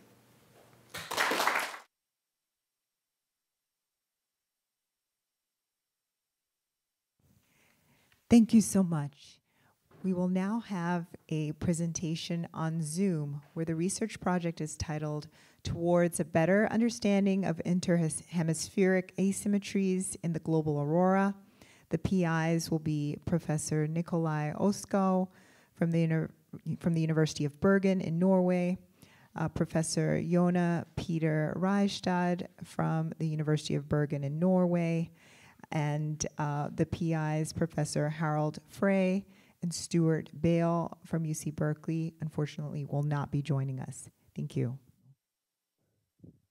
Okay, my name is Nikolai Ostgaard, and I will give the first three, four slides.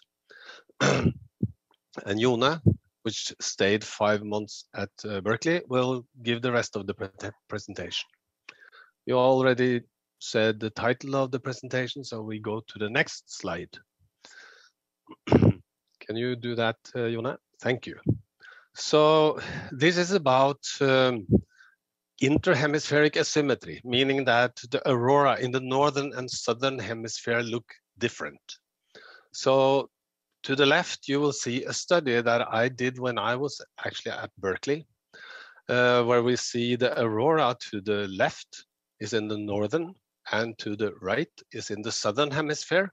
And this is plotted now in uh, magnetic coordinates. And we can see that the two shapes are displaced to each other. And we also see uh, of magnetic field of the solar wind uh, which we think has a big influence of this asymmetry. And we see in the middle panel, which is the transverse or the east-west component of the solar wind's magnetic field, is, uh, is the one that stands out. And we thought at the time that was very important to explain this. Later, as you see for, in the right, we had um, a study that was featured in Nature where we saw completely different uh, aurora in the two hemispheres. You see the northern up and, and the southern down, and you see that those two dots are not connected magnetically.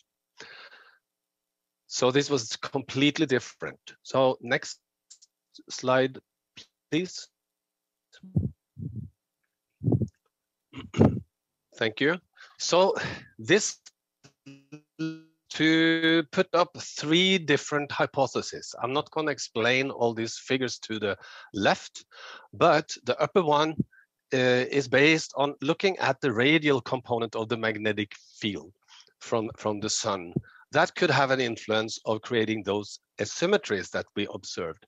In the middle, we had the east-west, which I already mentioned, and we thought that could penetrate through through something called tail reconnection and set up these, these um, asymmetries.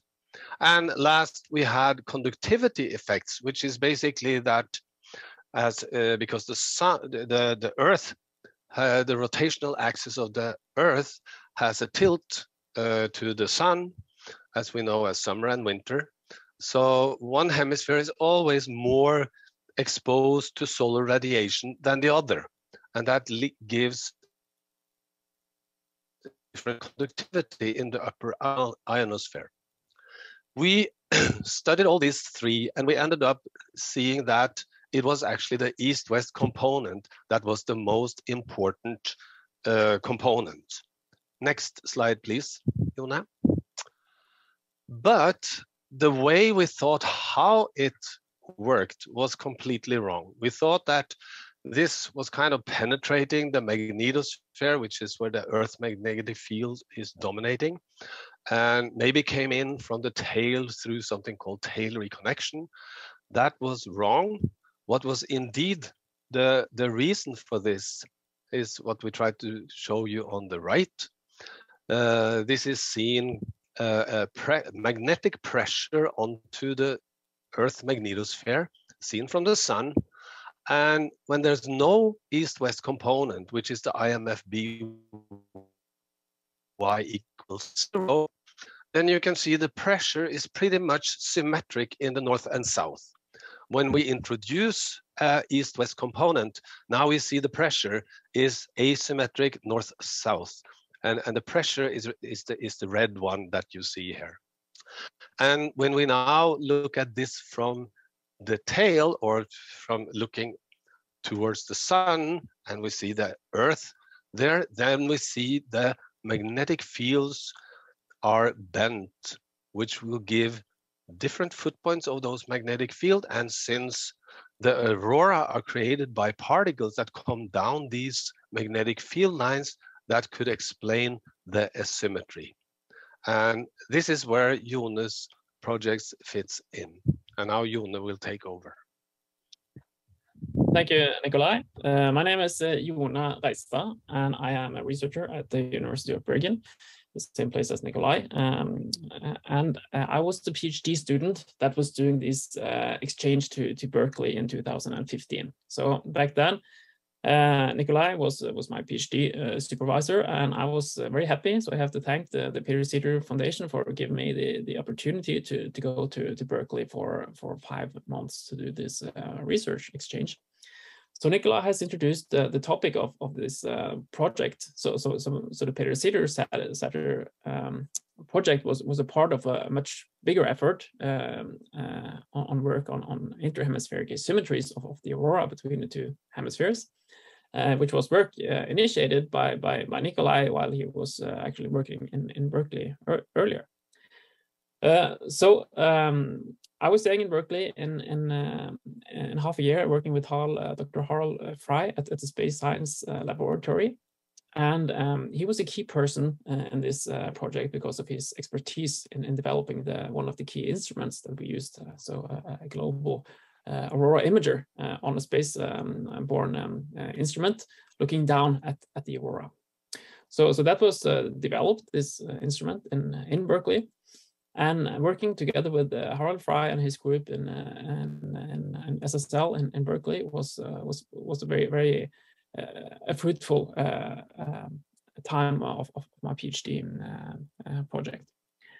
And as Nikolai mentioned, um, it was we we had started to, to to develop a new framework of how to explain these asymmetries in in, in geospace and how how these asymmetries was established but during um, during this um, Peder Sather uh, project, uh, I would say that was sort of um, around the time when when we sort of uh, stumbled across um, how how these uh, how these asymmetries also may may be uh, uh, reduced.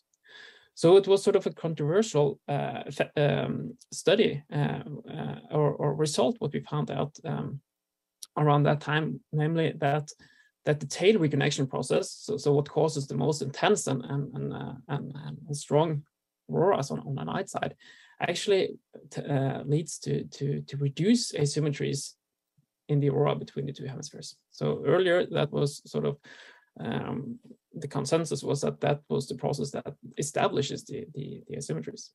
And, and uh, the work towards that result was, um, was uh, sort of uh, the, the work during the Peder Sather project was, was an integral part of that, that uh, process. and we also, um, yeah, the, the collaboration with, with Harald Frey and at SSL Berkeley has, has also continued up to, to date. So um, what, I, what I told about the, the role of tail reconnection, so the internal processes, not only the, the external forcing from, from the solar wind on the system, but also the effect of the internal processes acting to, to remove these asymmetries that was uh, picked up a few years later when uh, we published two studies in, in 2018 uh, in a series of papers uh, describing these effects.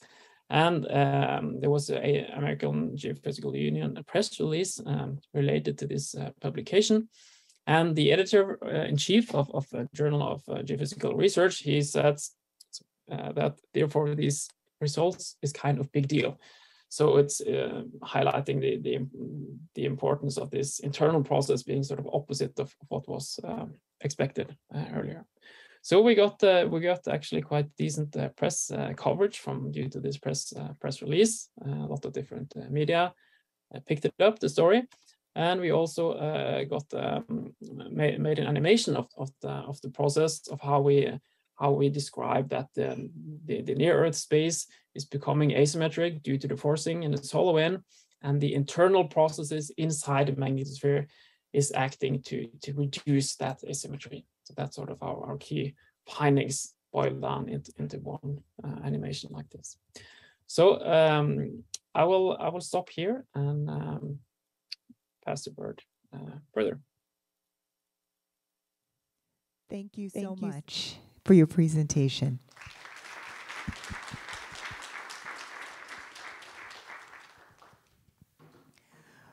We will now have another presentation on Zoom titled Addressing Nuclear Data Needs in the Thorium Fuel Cycle. The principal investigators for this project are Professor Sunniva Siem from the University of Oslo in Norway and Professor Jasmina Vujic at UC Berkeley. Thank you. Thank you very much. Uh, um, my collaborator, uh, Siem, is also present. Um, she is a professor in the Department of Physics, uh, basically nuclear um, and energy physics, and I'm professor in nuclear engineering department. Um, I will just uh, say summary up front if we get uh, cut off at the end. So we are extremely thankful for three grants that we received over a period of 10 years. So we are also celebrating 10 years of collaboration. Uh, and uh, we were able to expand it to get additional grants to support a list of uh, graduate students, to organize uh, many workshops and summer school that I uh, will mention uh, at least few of those and to focus on the strength of uh, University of Oslo Department of Physics in their experimental and theoretical determination of statistical properties of nucleus, uh, nuclear structures, on um, uh, the support uh, that we have here at UC Berkeley, both experimental, uh, such as 88 cyclotron, LBL, as well as uh, strength of the department in nuclear uh, data, particularly cross sections that are necessary for uh, nuclear power development. And knowing that Norway is very rich in thorium, we also focused on studying uh, thorium cycle for nuclear reactors in addition to existing uranium cycle. So the first grant we obtained in 2013 and uh, it was a nice title, What Color Are Atomic Nuclei? Uh, again, we had several additional researchers, including Dr. Lee Bernstein from uh, Nuclear Engineering Department and LBL, as well as Dr. Bethany Goldblum. The first grad students that were supported is Thibault Laplace, who actually uh, graduated um, and uh, is now postdoc up at uh, Lawrence Berkeley National Laboratory. Uh, the uh, first grant um, was used to organize uh, the first workshop that we have in November 2014. We had 40 students, postdocs, as well as faculty and staff scientists from uh, Lawrence Berkeley and Lawrence Livermore National Laboratory. We had visits from Professor Sunniva Siem and her team. Uh, later, we had our team going to Oslo, and it continued over over uh, 10 years. So this is the, the first workshop that we had here in Berkeley, and topics are uh, related to both uh, nuclear structure, cross sections, nuclear data, reactor technologies, uh, uh, and experimental facilities that both universities could present. Uh, so this is the list of collaborators for this particular workshop.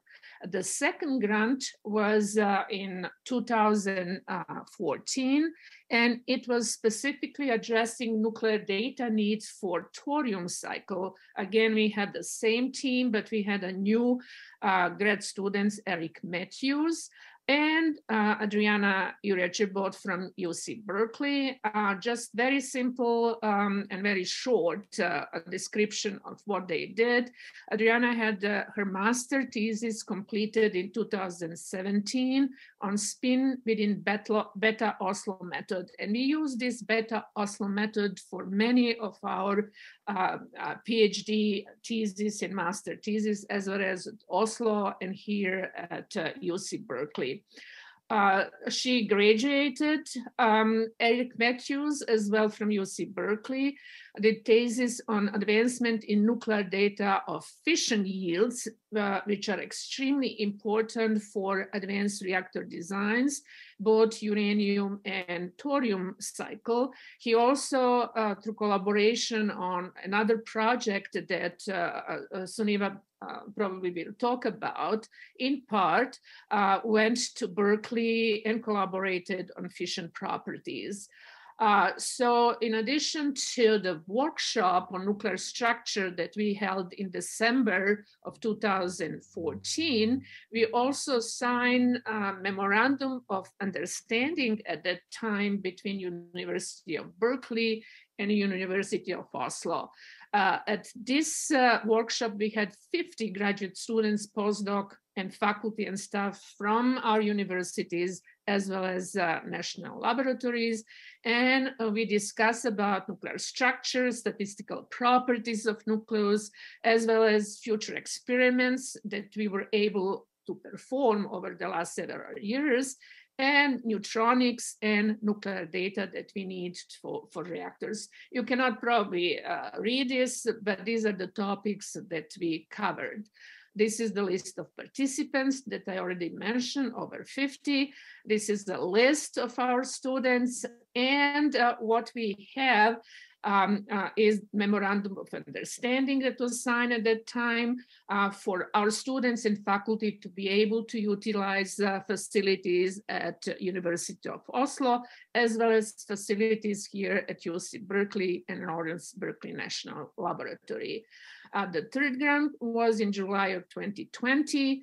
Uh, again, it was related to nuclear data deficiency, particular nuclides, um, and it was supposed to be part of the PhD thesis of Adriana Ureche. She was supposed to go to Argonne National Laboratory to do experimental measurements of fantastic uh, experimental facility CARIBU.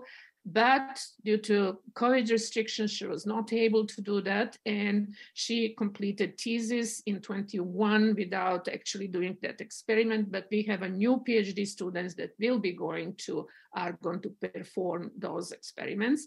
Eric Matthews also completed his thesis and he is postdoc now at Lawrence uh, Berkeley National Laboratory. Now I will switch to Sunniva to talk about Oslo workshop on level density and gamma strength.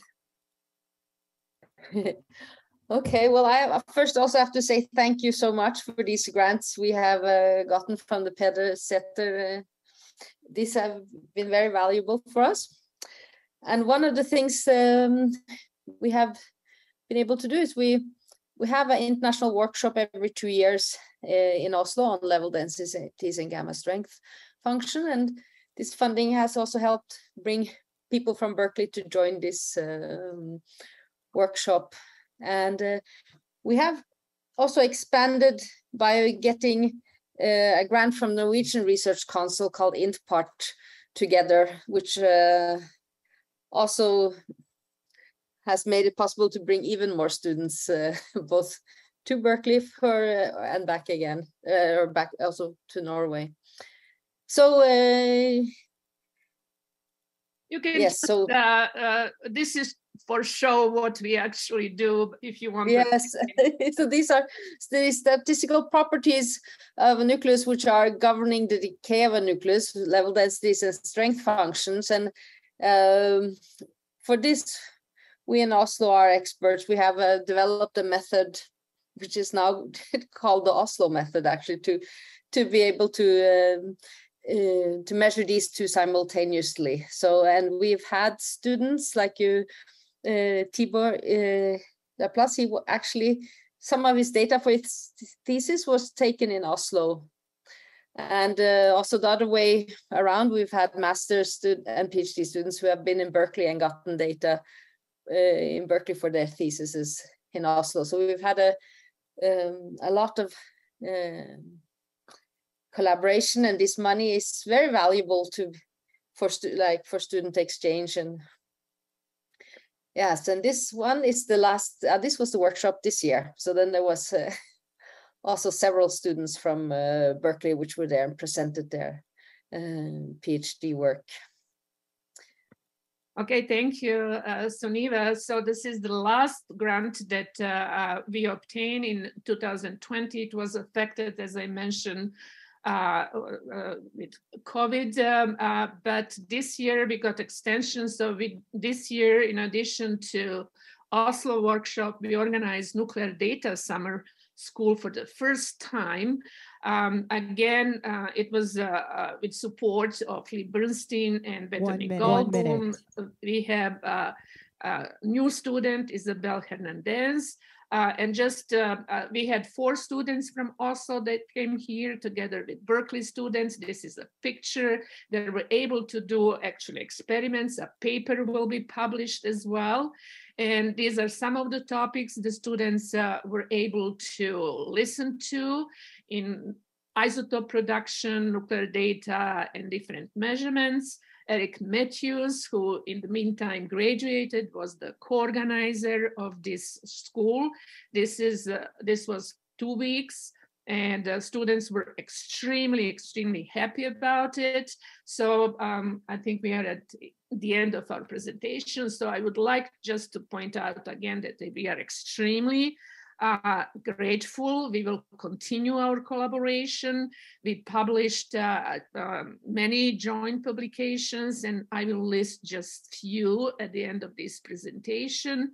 Um, and um, just to point out that here from Berkeley, we had three PhD students that graduated and now are postdocs in national laboratories. So thank you very much once again.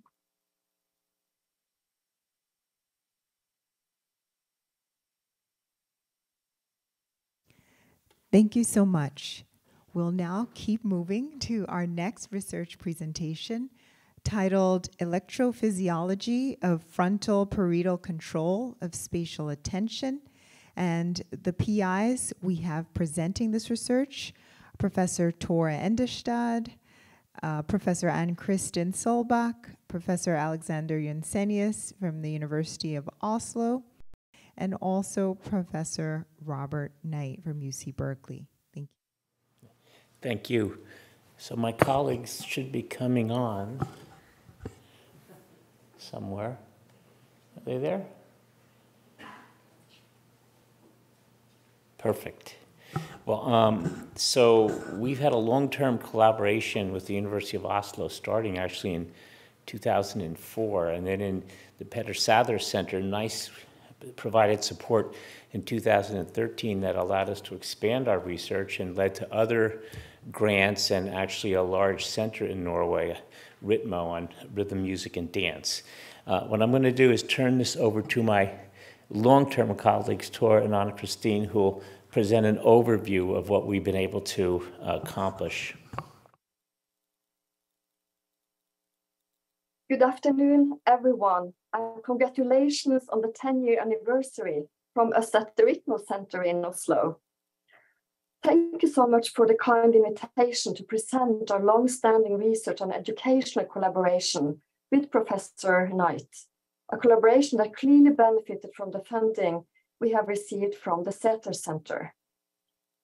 Our overarching research aim is to understand the neural basis of cognitive control functions in the human brain, which are critical for goal-directed and flexible behavior. We have a special emphasis on the role of the prefrontal cortex and its subregions. Some broad research questions we are jointly investigating are, what neural processes support the interplay between prefrontal cortex and other brain regions that are engaged doing tasks requiring attention and working memory? Anticipating future events is a fundamental feature of the brain, and we ask if there is a hierarchical neural organization of predictive processing, and at the highest level, what prefrontal areas are crucially involved. In a related line of research, we aim to answer questions about the roles of timing and rhythm in directing our attention and expectations. In our efforts to reveal the neurobiological mechanism supporting cognitive control, we use neuropsychological, neuroanatomical, electrophysiological, and functional, functional MRI techniques in healthy individuals and in patients with damage to the frontal lobes. As the only team in Scandinavia, we also record intracranial EEG directly from the cortical surface or from deep brain structures in neurosurgical patients. This allows us to examine in detail the electrophysiological activity taking place during cognitive tasks. The intracranial EEG program is a direct consequence of our collaboration with Professor Knight, who is a pioneer in the field. Hi, I'm Tor Endestad. Uh, as you can see over the years, uh, since before we got our grant from Peder Sæther in, um, in 2014, uh, uh, we have developed quite an extensive collaboration with Berkeley. And uh, it has led to a lot of traveling activity between Oslo and Berkeley. Uh, we have had master students going from Oslo, master students coming from Berkeley, PhD students going back and forth for research stays or visits to collect data at both sites. And we have uh, uh, had a lot of bilateral workshops over the years. Uh, and some of them on quite exotic places, as you probably can see. Uh, and we not only have uh, uh, helped each other with the competency needed to do research, but we also taught each other skills that is needed to have some fun. in Norway, uh, students from Berkeley has learned to do Arctic fishery and archery. Uh, and uh, we have had such a, a fantastic uh, uh, hospitality. We have been met with such a fantastic hospitality when we've been in Berkeley visiting Bob Knight's lab. Now, we have together written 30 research proposals. And of course, you don't get everything, but uh, apart from the Peder grant, we got 11 uh, joint projects funded from uh, several uh, financing bodies. And the last one uh, uh, is a center of excellence uh, located in at the University of Oslo, where Bob Knight is in the advisory board and where we will receive uh, an INTPART grant, national travel grant, uh, for activities between Berkeley and Oslo from the Research Council. Now, there has also been quite a bit of output over these years. Uh, several papers have been written up, and you here see a collection of some of them. And uh, we were actually not able to count the conference contributions. We had, there are too many of them to keep count of them. Uh, so uh, the activity has been high, and uh, the direct involvement of people from Berkeley and Norway has led to a tremendous amount of scientific output. So I don't know, Bob, here is actually a picture from our last visit to Berkeley with uh, Ritmo and Intpart. Uh, and those of you who are in Berkeley might perhaps know where we were having dinner that day. Uh, I don't know, Bob, if you would like to say something uh, concluding this. Uh, I'll just say a couple things. I think the collaboration has been uh, really fantastic on in every dimension, from the training aspect to the scientific productivity. I will mention that for those of you who ever want to go to northern uh, Norway, where there are polar bears, that Tor is a certified polar bear hunter, so he can go with you and you can go camping. I've suggested doing that. My wife is not crazy about the idea, but I think it could be it could be uh, quite nice. I think um, one other thing that I mentioned to the ambassador is I think I've been personally a big contributor to the economy of um, Norway because having been there many times, I've had to buy multiple Andros Dali sweaters for my wife, my daughter, and my two granddaughters. And as you know, they're not cheap. Uh, but uh, fun aside, it's just been a wonderful collaboration, and we really look forward to the next 10 years of the Peder Sæther. It's really been incredibly helpful to our science.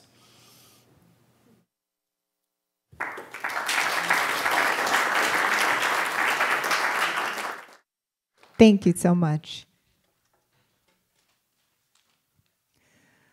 We will now have an in person presentation titled Teachers Skillful Coping with Disruptive Behavior in Norwegian and American Classrooms Student Involvement. The PIs for this project have been Professor Liv Duesund from University of Oslo, Professor Magnar Odegaard from University of Oslo, and Professor Elliot Turiel from UC Berkeley. Thank you.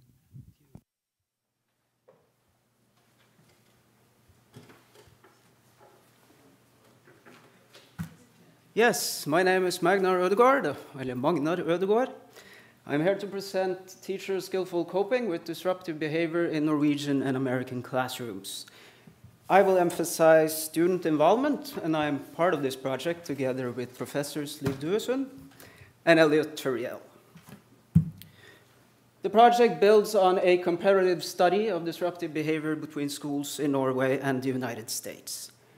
That project involved a large number of bachelor students and master students from the University of Oslo to the University of California, Berkeley. I was part of the master's students. For the students pursuing further academic careers, there were three postdocs, no, three PhDs and two postdocs, five in total. We, some of us went even further and became associate professors at various Norwegian institutions. We define disruptive behavior as any behavior that is perceived as sufficiently off task in the classroom as to distract teachers and or class peers from learning activities.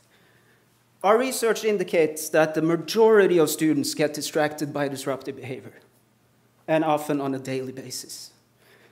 Teachers struggle to cope with this behavior and feel professionally de-skilled as a consequence of it.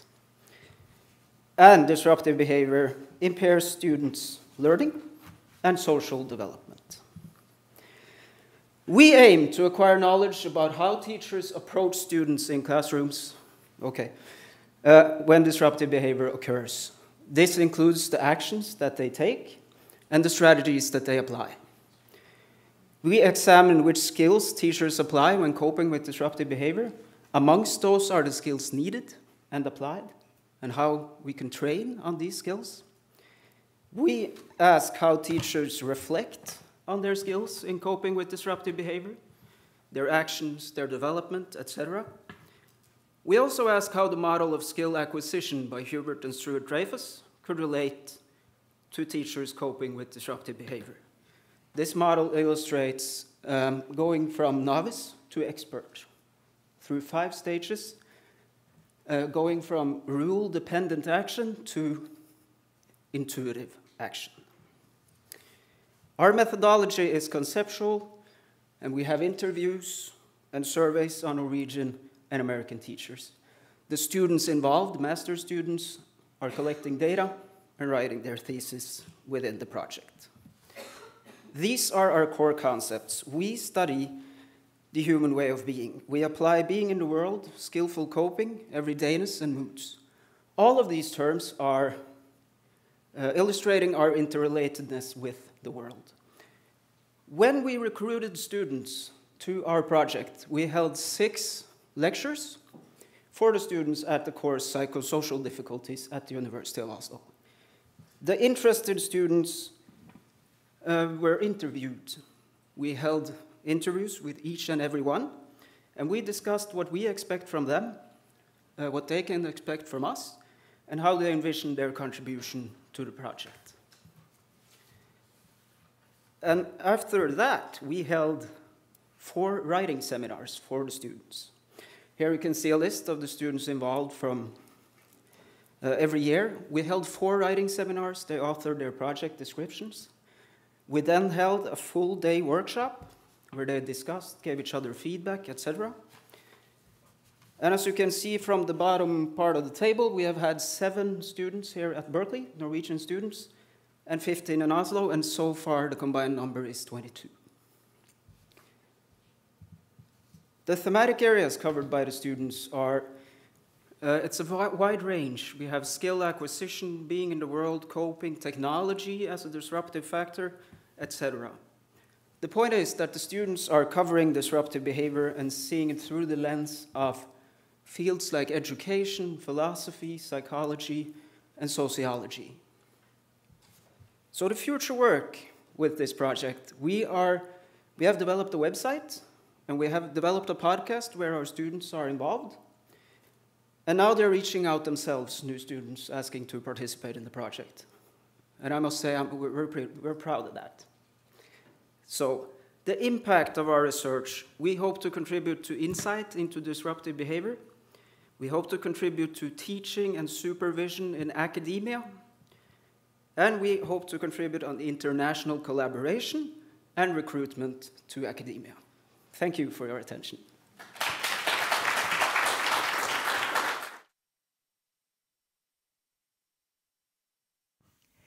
Thank you so much.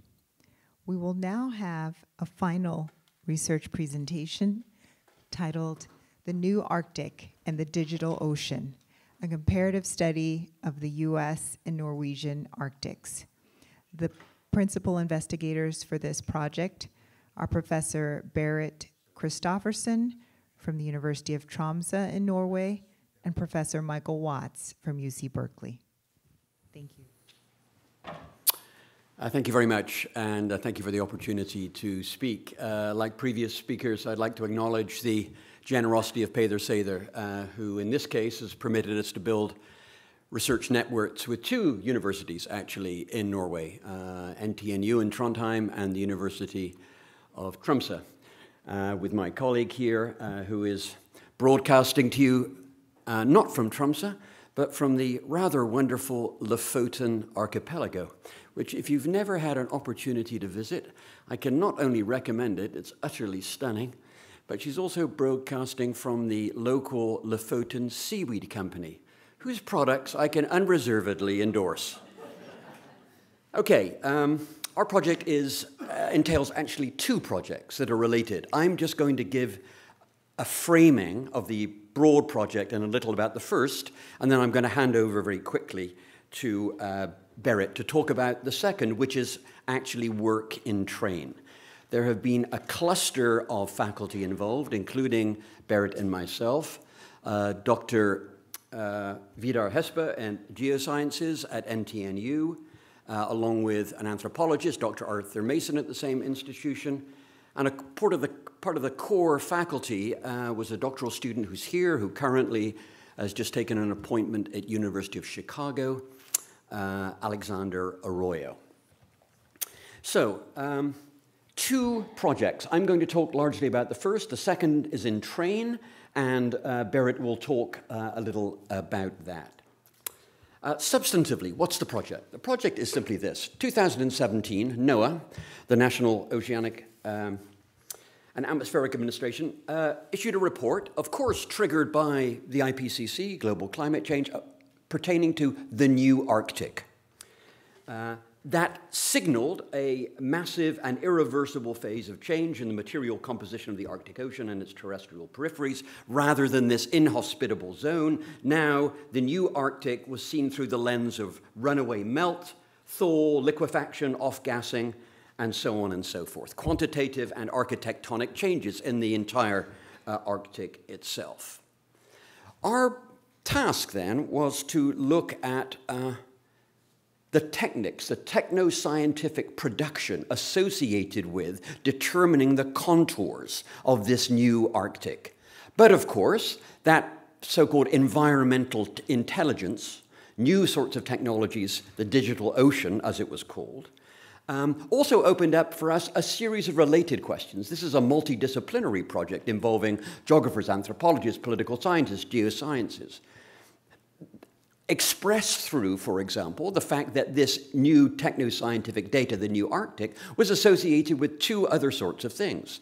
The opening up of a sort of resource frontier, and secondly, new forms of speculative investment. And that had, it turns out, a Bay Area connection. Why? Because some of those techno-scientific productions were in fact a product of Silicon Valley. Uh, some of you are perhaps familiar with Saildrone in Oakland here, real-time monitoring uh, of oceanic dynamics. Uh, and venture capital. Uh, LLC Guggenheim in 2017, it's New York-based fund, uh, but with venture capital from the Bay Area, uh, released the first Arctic investment portfolio. So that's the nature of the beast, as it were. Um, I'm just going to flag three themes. I can't talk about them in detail that this first phase uh, entailed. One was what we called Arctic speculation. I've just uh, uh, um, referred to the likes of investment and new sorts of um, economic investment in this opening, this new frontier. Secondly, what we called Arctic futures and environmental intelligence, the new techno scientific types of insights. Uh, Boeing has, for instance, a, a, subsidiary called Liquid Robotics, uh, which talks about the ocean of things in the same way that we refer to the um, Internet of Things. DARPA uh, for example, uh, talks of the digital ocean and so on. These, th we were looking then at these types of scientific entities. And thirdly, what we called the new Arctic mineral and energy complex. Of course, oil and gas has been exploiting the Arctic forever.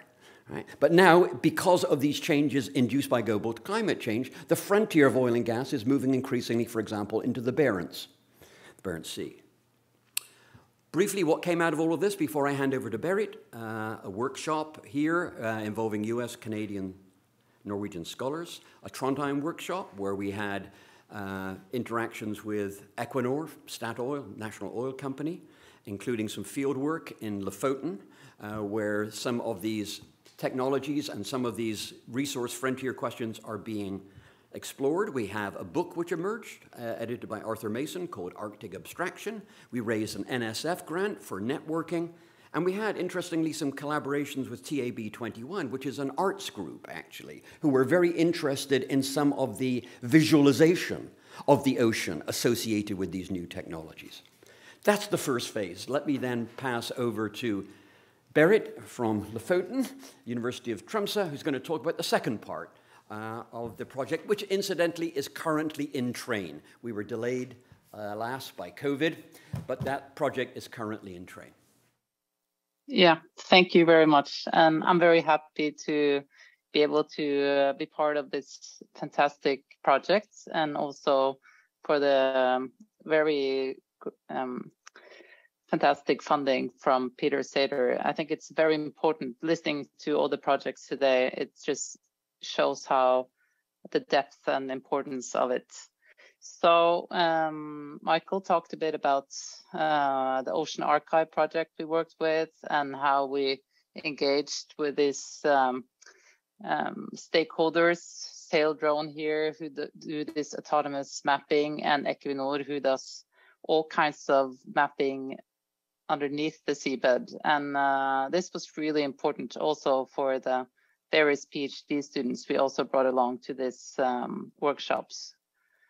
And um, I think, um, as Michael mentioned, the mineral um, complex is really what is um, gaining importance right now. We have this green transition and we need lots of minerals. And one of the big focus areas of the Norwegian Petroleum Directorate is to encourage and um, start these new seabed mining industries in Norway. So they're setting up a framework based on the same way as uh, they have done with oil and gas, so using the same kind of framework. And um, one of the questions we ask in this next next project is then what happens to the political life of the ice edge. So anyone who's familiar with Norwegian politics the last five ten years know that the ice edge, um, where we see on the right here with the ice frequency mapped by the Norwegian Polar Institute, has been the been an actor in itself and been sort of the delimitation of uh, where oil can be drilled. So the further up uh, the ice goes, the further up the oil companies can drill. Uh, so um, since we are especially interested in kind of these new uh, mapping practices and techniques in the digital ocean, and uh, then what happens next is that we we do look at um, the various practices involved in also um, how mining is going to go about. And here we see on the left um, oil mapping, kind of an oil old tradition uh, with seismic. We see going back already to the early 1970s, they were mapping around the Svalbard Peninsula uh, archipelago group, I mean. And uh, we know that NTNU, Equinor, all kinds of actors are now know, um, getting more involved in what's happening at the ocean floor as we experienced when we went to Equinor in uh, 2019. And as part of this, um, this sort of conceptual changes, I mean, the big changes with uh, understanding how the new Arctic is opening up a new world of anthropogenic accumulation. Uh, we also need new conceptual frameworks to work around. So one of the lenses uh, that we work towards is led by Alexander, who is working on um, on a framework called elemental geopolitics. So we are particularly interested then in the role of speculation and the role of uncertainty when it comes to how geographic uh, knowledge production is accumulated. As we are all geographers, the core three researchers among us, uh, this is an important insight. But we also want to work with the Nansen Legacy Project. And um, the Nansen Legacy Project is um, 75 uh, million US uh, dollars funded project that is mapping the Barents North. So pretty much on the left here, we see an old map of the ice edge. This is where um, a big uh, group of researchers from different institutions led by University of Tromsø is mapping the Barents North. So this mapping is a very important prerequisite for how also uh, economic activities will be going on for the next decades. And uh, as we have invited also the Nansen legacy um, researchers into the proposal for us to have a way to engage with and discuss our analytical approaches towards their knowledge and their analytical approaches in a time of the Anthropocene. This is the second main activity we will do in 2023 in the spring. So with that, I will uh, pass it over to Berkeley again. Thank you very much. Thank you very much for your presentation.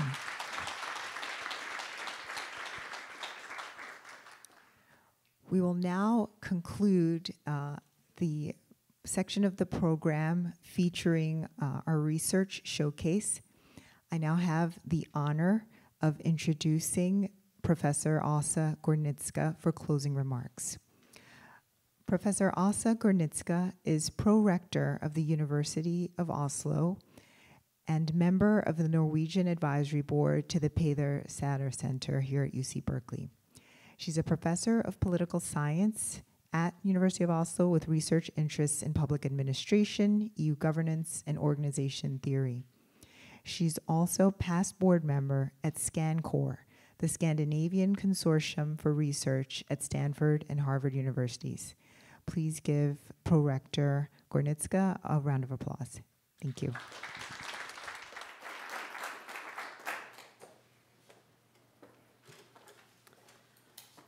Dear colleagues, dear friends, dear uh, friends of the university, dear ambassador,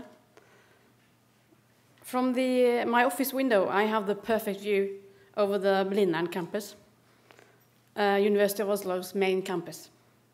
And every morning I can watch students coming from trams, from buses, from the tube, on bikes, in any kind of weather. They're pouring over the university square on their way to lecture halls, study groups, maybe late for class.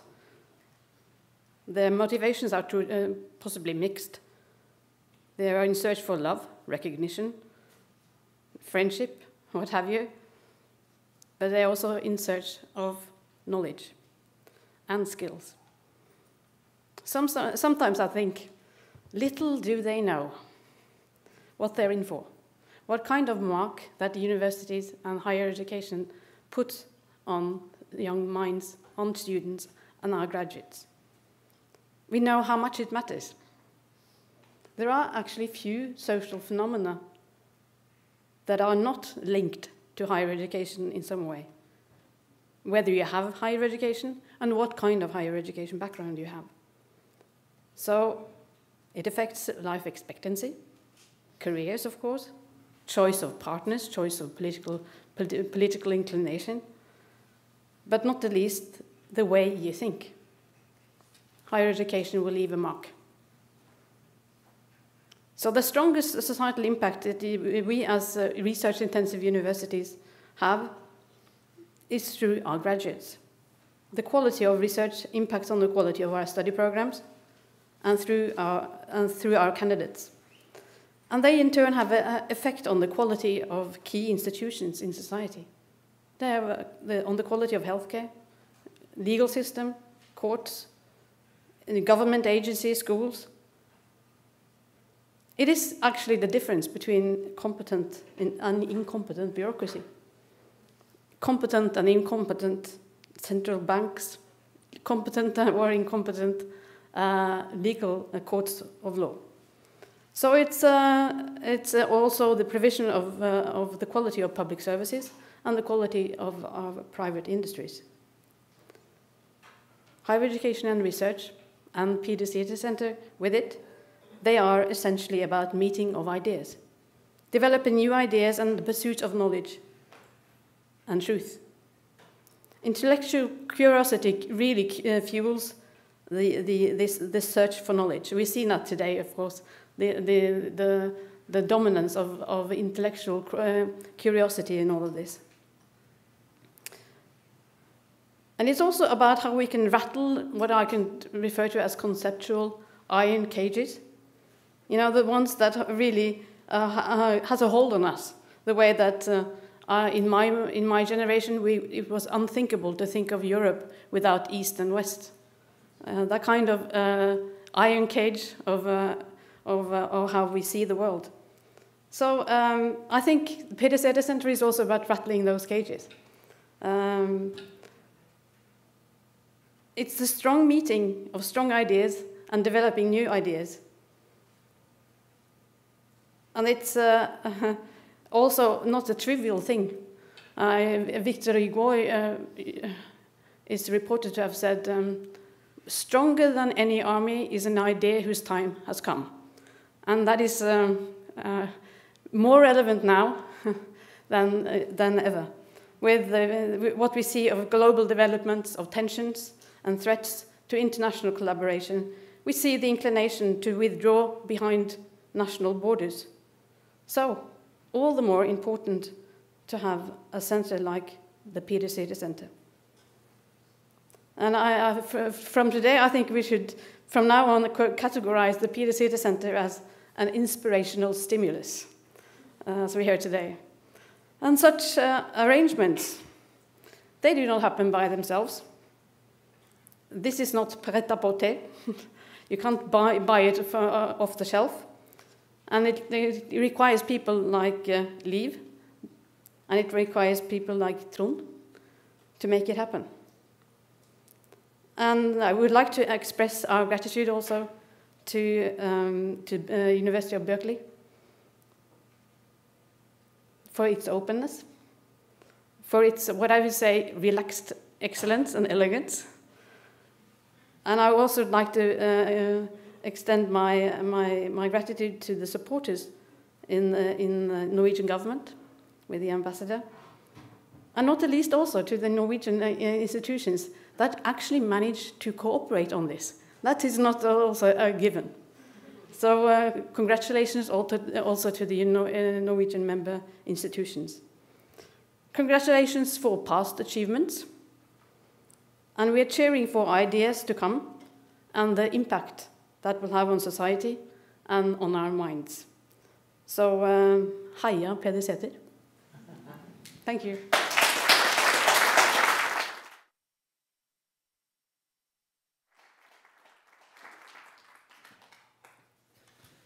Thank you so much uh, also for your inspiring and uh, very thoughtful uh, closing remarks.